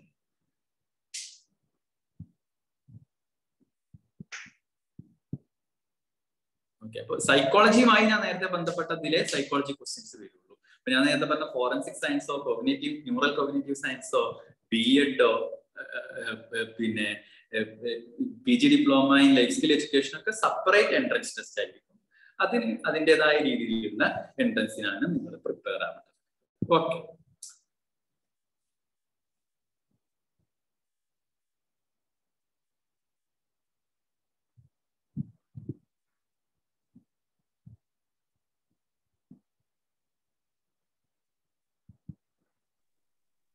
സർ ഇതിന് നമ്മൾ അപ്ലൈ ഇതിന് നമ്മൾ അപ്ലൈ ചെയ്യുന്ന സമയത്ത് പ്രിഫറൻസ് ഓർഡർ അങ്ങനെ എന്തെങ്കിലും ഉണ്ടോ? മീൻസ് പ്രിഫറൻസ് ഇല്ല. ഇല്ല നമ്മൾ പ്രിഫറൻസ് നമ്മൾ കൊടുക്കേണ്ടതില്ല. നമ്മൾ യൂണിവേഴ്സിറ്റിയും കോഴ്സും യൂണിവേഴ്സിറ്റിയും കോഴ്സും കൊടുത്താൽ മതി. പ്രിഫറൻസ് കൊടുക്കേണ്ടതില്ല. കാരണം നമ്മൾ ഇപ്പൊ ഉദാഹരണത്തിന് ഞാനൊരു ഇതെങ്ങനെയാണ് ഇതിന്റെ അലോട്ട്മെന്റ് പ്രൊസീജിയർ എങ്ങനെയാണ് പറയുന്നത് ഇപ്പോ ബനാറസ് ഹിന്ദു യൂണിവേഴ്സിറ്റി എടുക്കുക ബനാറസ് മൊത്തം ആയിരം ആളുകൾ പി ജി സൈക്കോളജിക്ക് അപേക്ഷിക്കുന്നു എന്ന് കരുതാം. ബനാറസ് ഹിന്ദു യൂണിവേഴ്സിറ്റികൾ യൂണിവേഴ്സിറ്റി അതിൽ അഞ്ഞൂറ് ആൾക്കാരെ അപേക്ഷി പ്രിഫർ ചെയ്യുന്നുണ്ട്. അഞ്ഞൂറ് ആൾക്കാരെ അത് തെരഞ്ഞെടുത്തിട്ടുണ്ട്. അങ്ങനെയാണെങ്കിൽ ഈ ആയിരം ആൾക്കാരിൽ നിന്ന് ബനാറസ് ഹിന്ദു യൂണിവേഴ്സിറ്റിക്ക് വേണ്ടത് ഈ ബനാറസ് യൂണിവേഴ്സിറ്റി സെലക്ട് ചെയ്ത അഞ്ഞൂറ് ആൾക്കാരാണ്. അവരെ പേഴ്സന്റേജ് സ്കോർ വെച്ചിട്ട് Banaras Hindu university allotment list ഇടുള്ളൂ. അപ്പോ ഏറ്റവും കൂടുതൽ ആളുകൾ പ്രിഫർ ചെയ്യുന്ന യൂണിവേഴ്സിറ്റിയിൽ കിട്ടാനായിരിക്കും ടഫ് ഉണ്ടാവുക എന്നുള്ളത്. അപ്പോ അങ്ങനെ നോക്കുന്ന സമയത്ത് ഇപ്പോൾ സപ്പോസ് നമ്മൾ വരെ സെൻട്രൽ യൂണിവേഴ്സിറ്റി ഓഫ് തമിഴ്നാട് ആയിരം ആൾക്കാരിൽ ഇരുന്നൂറ് പേരെ സെലക്ട് ചെയ്തിട്ടുള്ളൂ എന്ന് കരുതുക. അങ്ങനെ ആ ഇരുന്നൂറ് പേര് ഉള്ള ഇതായിരിക്കും ഉണ്ടാവുക. അപ്പോ അതുകൊണ്ട് അതിൽ പ്രിയോറിറ്റി ഓർഡർ ഇല്ല. പക്ഷെ നിങ്ങൾ ആ യൂണിവേഴ്സിറ്റിയിൽ അഡ്മിഷൻ എടുക്കണമെങ്കിൽ ആ യൂണിവേഴ്സിറ്റി നിങ്ങൾ സെലക്ട് ചെയ്യണം. ആ യൂണിവേഴ്സിറ്റി കോഴ്സ് നിങ്ങൾ സെലക്ട് ചെയ്യണം. ആ ഓക്കെ സർ താങ്ക് യു അപ്പൊ അപ്പൊ സെൻട്രൽ യൂണിവേഴ്സിറ്റി ഹരിയാനയിൽ എം എസ് സി പ്രോഗ്രാം ഉണ്ട് പി ജി ഡിപ്ലോമ പ്രോഗ്രാം ഇത് രണ്ടും നിങ്ങൾ ഒരുപോലെ പരിഗണിക്കണമെങ്കിൽ ആ രണ്ടും നിങ്ങൾ സെലക്ട് ചെയ്യണം. ആ ഓക്കെ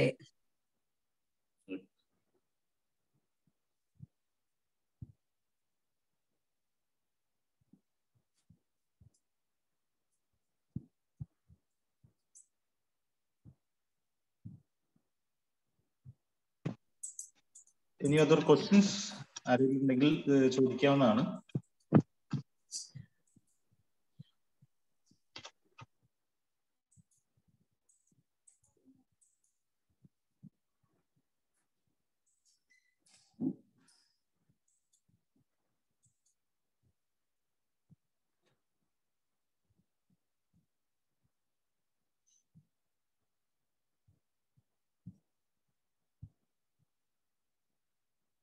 പ്രത്യേകിച്ച് എം ബി എ ഒക്കെ പഠിക്കാൻ ആഗ്രഹിക്കുന്നത്. ഇപ്പൊ പൊതുവെ സൈക്കോളജി പഠിച്ചിട്ട് എം ബി എ ഒക്കെ പഠിക്കാൻ ആഗ്രഹിക്കുന്ന ആളുകൾക്ക് വേണമെങ്കിൽ എം ബി എ പ്രോഗ്രാമുകൾക്ക് നോക്കാവുന്നതാണ്. എം ബി എക്ക് P G Q P thirty eight entrance ആണ് നിങ്ങൾ എഴുതേണ്ടത്. ചില ആളുകളെങ്കിലും സൈക്കോളജി പഠിച്ചിട്ട് പിന്നീട് എം ബി എയിലേക്ക് പോകാം പ്രൊഫഷണൽ കോഴ്സിലേക്ക് പോവാം എന്ന് നോക്കാറുണ്ട്. അപ്പൊ അതിന് നിങ്ങൾ ആ പരീക്ഷയാണ് എഴുതേണ്ടത്. അപ്പൊ അത് നിങ്ങളൊന്ന് മനസ്സിൽ വേണം. ഞാനതൊന്ന് ജസ്റ്റ് പറഞ്ഞു എന്നുള്ളൂ സൂചിപ്പിച്ചു എന്നുള്ളൂ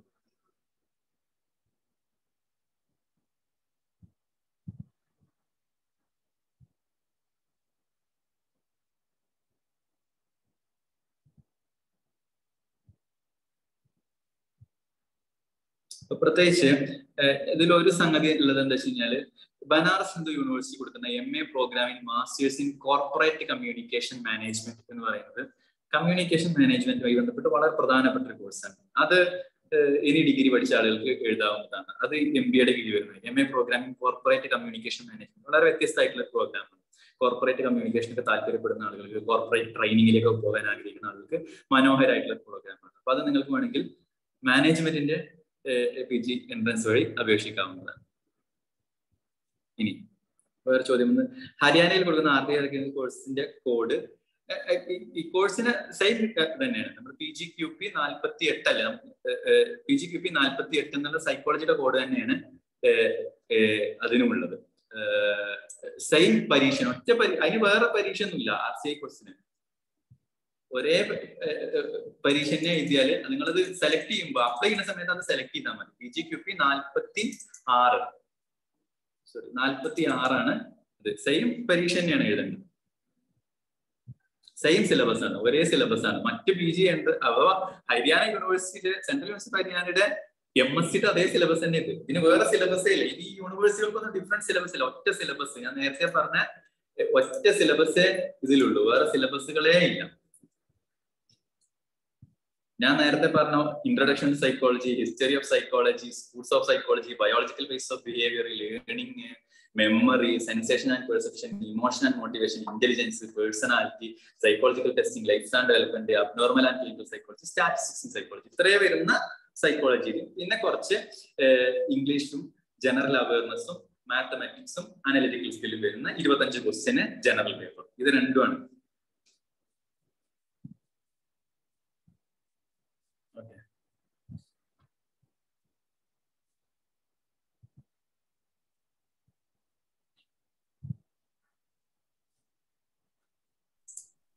എനിക്ക് തോന്നുന്നു ഓൾമോസ്റ്റ് എല്ലാ ക്വസ്റ്റ്യൻസുകളും തീർന്നിട്ടുണ്ടെന്ന് തോന്നുന്നു.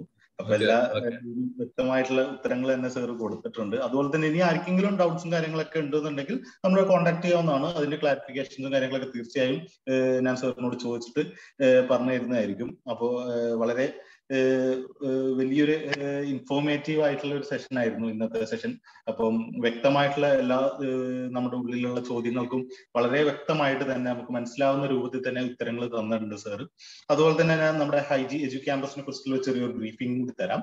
നമ്മൾ കണ്ണൂർ ജില്ലയിൽ ഉള്ള ഒരു ഇൻസ്റ്റിറ്റ്യൂഷൻ ആണ് സൈക്കോളജി മേഖലയിലുള്ള രണ്ടോളം കോഴ്സുകൾ പ്രൊവൈഡ് ചെയ്യുന്ന ഒരു ഇൻസ്റ്റിറ്റ്യൂഷൻ ആണ് നമ്മുടെ ഹൈജി എന്ന് പറഞ്ഞു കഴിഞ്ഞാൽ നമുക്ക് സൈക്കോളജി പി ജി എൻട്രൻസ് അതുപോലെ തന്നെ psychology U G C net തുടങ്ങിയ കോഴ്സുകൾ സൈക്കോളജി മേഖലയിൽ നമ്മൾ കോഴ്സുകൾ പ്രൊവൈഡ് ചെയ്യുന്നത് ഇത് കൂടാതെ ലോ എൻട്രൻസ് അതുപോലെ തന്നെ U G C net in commerce TISS net തുടങ്ങിയ കോഴ്സുകളും കൂടി നമ്മൾ പ്രൊവൈഡ് ചെയ്യുന്നുണ്ട്.